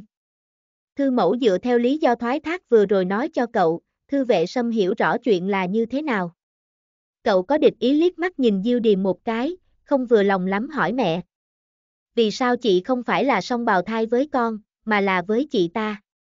Thư vệ sâm cảm thấy song bào thai sẽ thân mật nhiều hơn, đối với chị gái song bào thai với Thư Sâm Nhuyễn, mà mình là em trai kém Thư Sâm Nhuyễn 11 năm, trong lòng cậu rất không thoải mái. Loại chuyện này đâu phải có thể lựa chọn. Thư mẫu bất đắc dĩ nhìn cậu một cái. Thư vệ sâm hiểu đạo lý, cậu chỉ là oán giận một chút. Đảo mắt cậu liền không chú ý cái đề tài này nữa, cậu tò mò nhìn Diêu Điềm, nói. Ba mẹ, hai người trừng phạt người xấu chưa? Diêu Điềm bị ánh mắt cậu xem trong lòng đánh cuộc, cô ta ghét nhất người khác dùng loại ánh mắt này nhìn cô ta. Kiếp trước rất nhiều người một bên đồng tình thân thế cô ta đáng thương, một bên chế giễu trong lòng cô ta không bằng hàng giả thư sâm nhuyễn kia. Cô ta chán ghét không thôi, loại chán ghét này vẫn luôn theo tới hiện tại. Yến gia của thư bá mẫu bất quá là tiểu quý tộc xuống dốc, mấy năm nay thư phụ thư mẫu lòng mang ấy nấy, không thiếu trợ giúp cho bọn họ. Bằng không dựa vào đám ăn chơi trác tán kia ở Yến gia, đoán chừng bọn họ còn không ở nổi A thành nữa. Nên trả lại thư gia đã trả lại, Yến cảnh thanh thiếu bọn họ, bọn họ sẽ tự thu hồi. Thư phụ nhìn phía Diêu Điềm, nói. Tất cả bọn người xấu sẽ chịu trừng phạt. Thư vệ sâm nghe vậy thì gật gật đầu, trong mắt lại không có tò mò lúc trước. Con nít đặc biệt nhạy cảm với cảm xúc, thư vệ sâm lại là tiến hóa giả cấp cao. Cậu cảm nhận được Diêu Điềm chợt lóe lên chán ghét, ấn tượng với chị gái mới này càng không tốt hơn. Diêu Điềm cười cười, đáy lòng lại là một mảnh lạnh băng. 16 năm khổ não của cô ta là Yến Cảnh Thanh tạo thành, nhưng đầu sỏ gây tội phía sau cuộc sống u ám lại là Thư Sâm Nhuyễn. Hiện giờ người cô ta hận nhất đang làm trò thiên kim thư gia, cô ta sao có thể vui vẻ nổi. Đừng nói những chuyện đó nữa, chúng ta mang điềm điềm đi dạo quanh nhà đi. Thư mẫu đề nghị nói, ánh mắt nhìn ba đứa con. Mẹ mang chị gái mới đi dạo đi, thư vệ sâm nói, cậu lôi kéo thư sâm nhuyễn. Con với chị đi chơi game một lát. Thư mẫu nhăn mày, nói với con trai. Không cần gọi chị gái mới, như vậy quá mới lạ. Đặc biệt là trong tình huống này, điềm điềm nghe sẽ không thoải mái. Vậy con phải gọi thế nào đây? Nếu đều gọi chị, chị gái của con và chị gái mới làm sao phân biệt được con đang kêu ai chứ? Thư vệ sâm chỉ cầm, trên khuôn mặt nhỏ treo buồn rầu. Có thể mà, chị không để bụng xưng hô. Diêu Điềm hào phóng nói. Kỳ thật cô ta coi thường mấy cái xưng hô khịt mũi này, thái độ hiện tại của thư vệ sâm vô cùng rõ ràng, cậu chính là thiên hướng thư sâm nhuyễn. Đời trước, Diêu Điềm mẫn cảm nhận thấy này đó, cô ta sẽ không chịu lại tiếp xúc với thư vệ sâm. Kỳ thật bất quá bởi vì cô ta không ở chung với cậu nhiều, hiện tại Diêu Điềm tin tưởng, cô ta có thể mượn sức thư vệ sâm. Con tự nghĩ lại xem nên làm sao bây giờ. Thư mẫu nói, từ trước đến nay trong một số chuyện, bọn họ luôn tán thành suy nghĩ độc lập của con trai. Thư vệ sâm nghĩ nghĩ, thật lâu liền có chủ ý, cậu hỏi Diêu Điềm. Em gọi chị là chị Điềm Điềm, còn chị gái của em vẫn là chị, như vậy có được không? Diêu Điềm gật đầu, tán đồng nói. Vệ vệ rất thông minh. Loại chuyện này thư phụ không đi theo, ông ở lại phòng khách. Thư Sâm Nguyễn bị em trai lôi kéo đi đến phòng game, ba người cùng lên lầu. Thư Mẫu và Diêu Điềm đi phía sau khoảng nửa bước, bà giải thích với Diêu Điềm. Đêm qua ba mẹ mới biết được thân phận của con, khi đó đêm đã khuya, nên chúng ta không có quấy rầy con. Phòng ngủ mọi người ở lầu 2, phòng ngủ của con cũng ở lầu 2, mới bày biện đơn giản một chút, con nhìn xem nơi nào không thích, mẹ lại sửa. Lúc đi đến lầu 2, thư mẫu dẫn bọn họ dừng trước một phòng. Phòng này bố trí dựa theo phòng thư sâm nhuyễn, toàn bộ không gian đều là màu kẹo hoạt bát. Giường khí phái công chúa tinh xảo, bàn trang điểm xinh đẹp, kệ được thảm thủy tinh lưu ly. Diêu Điềm nhìn phòng ngủ, cô ta cười với thư mẫu, ngoan ngoãn nói. Cảm ơn mẹ, con rất thích. Nơi này thật lớn thật là đẹp mắt, đây là lần đầu tiên có được phòng ngủ riêng đó. Thư mẫu nghĩ đến ngày tháng trước kia của Diêu Điềm, không khỏi đau xót trong lòng, bà nói. Những thứ này đều là con nên có được, mẹ không biết kích cỡ của con, cho nên chưa thêm quần áo vào. Con có mệt không? Không mệt thì buổi chiều chúng ta đi dạo phố. Được à, con không mệt. Diêu Điềm không phải thật sự 16 tuổi, cô ta đối với quần áo mới cũng không thấy hứng thú. Cô ta biết thư mẫu bận rộn công tác, thiếu thời gian chăm sóc con cái, hiện tại có thời gian bồi dưỡng tình cảm với thư mẫu, cô ta tự nhiên sẽ bắt lấy. Cậu nhóc nhìn mẹ và chị gái mới, không khỏi biểu môi. Mẹ chỉ nói chuyện với chị gái mới, không thèm để ý tới bọn họ. Cậu mới không để bụng đâu. Thư vệ sâm lắc lắc đầu, mang theo chị gái đến phòng ở lầu ba chơi. Mẹ, lúc đi dạo phố có thể mang theo em gái cùng đi không? Diêu Điềm nói. Nhưng ngay sau đó cô ta lại có điểm xấu hổ cúi đầu.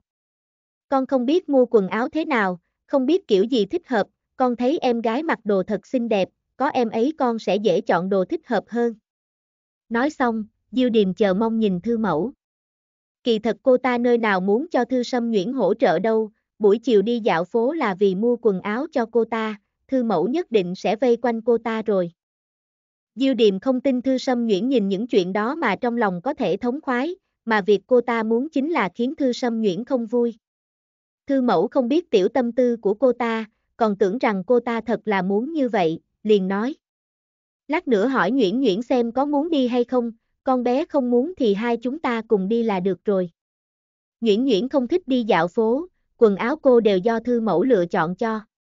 Cho nên thư sâm Nguyễn đi hay không cũng không quan trọng, thư mẫu tự tin có thể lựa được quần áo cho Diêu Điềm. Diêu Điềm nghe xong trong lòng cứng ngắc, chỉ cảm thấy mình là bị cự tuyệt. Rõ ràng cô ta mới trở về thư gia, bọn họ đều nên lấy cô ta là chủ, thư mẫu tại sao có thể đối với cô ta như vậy? Cô ta, vâng, nhưng trong lòng không thoải mái, trên mặt lại không biểu hiện cái gì ra ngoài. Thư Sâm Nhuyễn và Thư Vệ Sâm cùng đến phòng game, những món đồ chơi đều thích hợp cho đứa trẻ 5 tuổi, bình thường Thư Sâm Nhuyễn cũng thường xuyên chơi với cậu. Cô thích nhất loại trò chơi bắn nhau, cô và Thư Vệ Sâm hai người một đội, ở trong một phòng mật thất đánh bại quái vật chạy trốn. Mật thất là hình thực tế ảo chiếu ra, bên trong nhà bố trí vô cùng chân thật. Nhưng bởi vì Thư Vệ Sâm chỉ mới 5 tuổi, xưởng món đồ chơi nắm chắc chừng mực, mật thất âm trầm trầm lại không khủng bố. Nhóm quái thú cũng đầu tròn não tròn, nhìn còn có vài phần đáng yêu, ngay cả thư sâm nhuyễn nhát gan cũng có thể tiếp thu. Chị chị chị chị cẩn thận.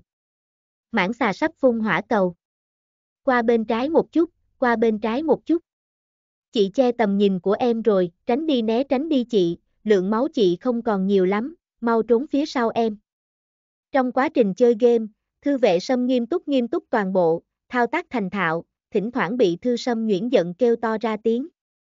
Cho dù thức ăn của đồng đội giống như gián điệp của quái thú phái đến, thư vệ sâm cũng không có bỏ cô, còn cực kỳ trượng nghĩa bảo vệ thư sâm nhuyễn. Cuối cùng, sau khi thư sâm nhuyễn kiên trì kéo chân không ngừng, không trung hiện lên một hàng chữ kim quang lấp lánh. Game over.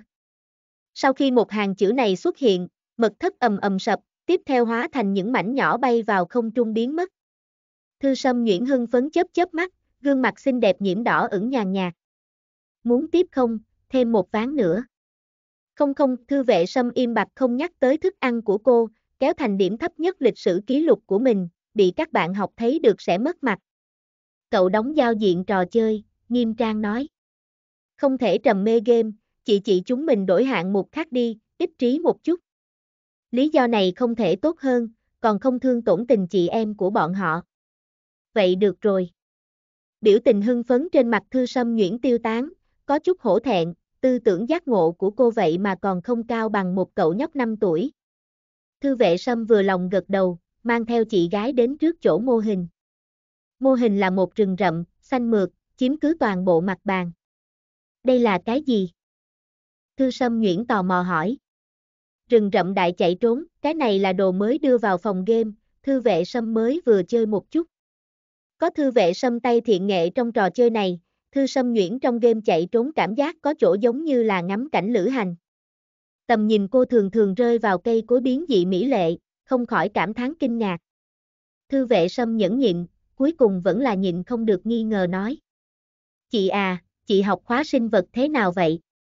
Mấy thứ đó không phải đều là thực vật biến dị thường thấy nhất sao? Học giỏi thì đã không xếp hạng 10 kỳ thi rồi. Thư Sâm Nhuyễn nhỏ giọng nói thầm chị gái thành tích kém như vậy, thật là sầu chết em trai mà.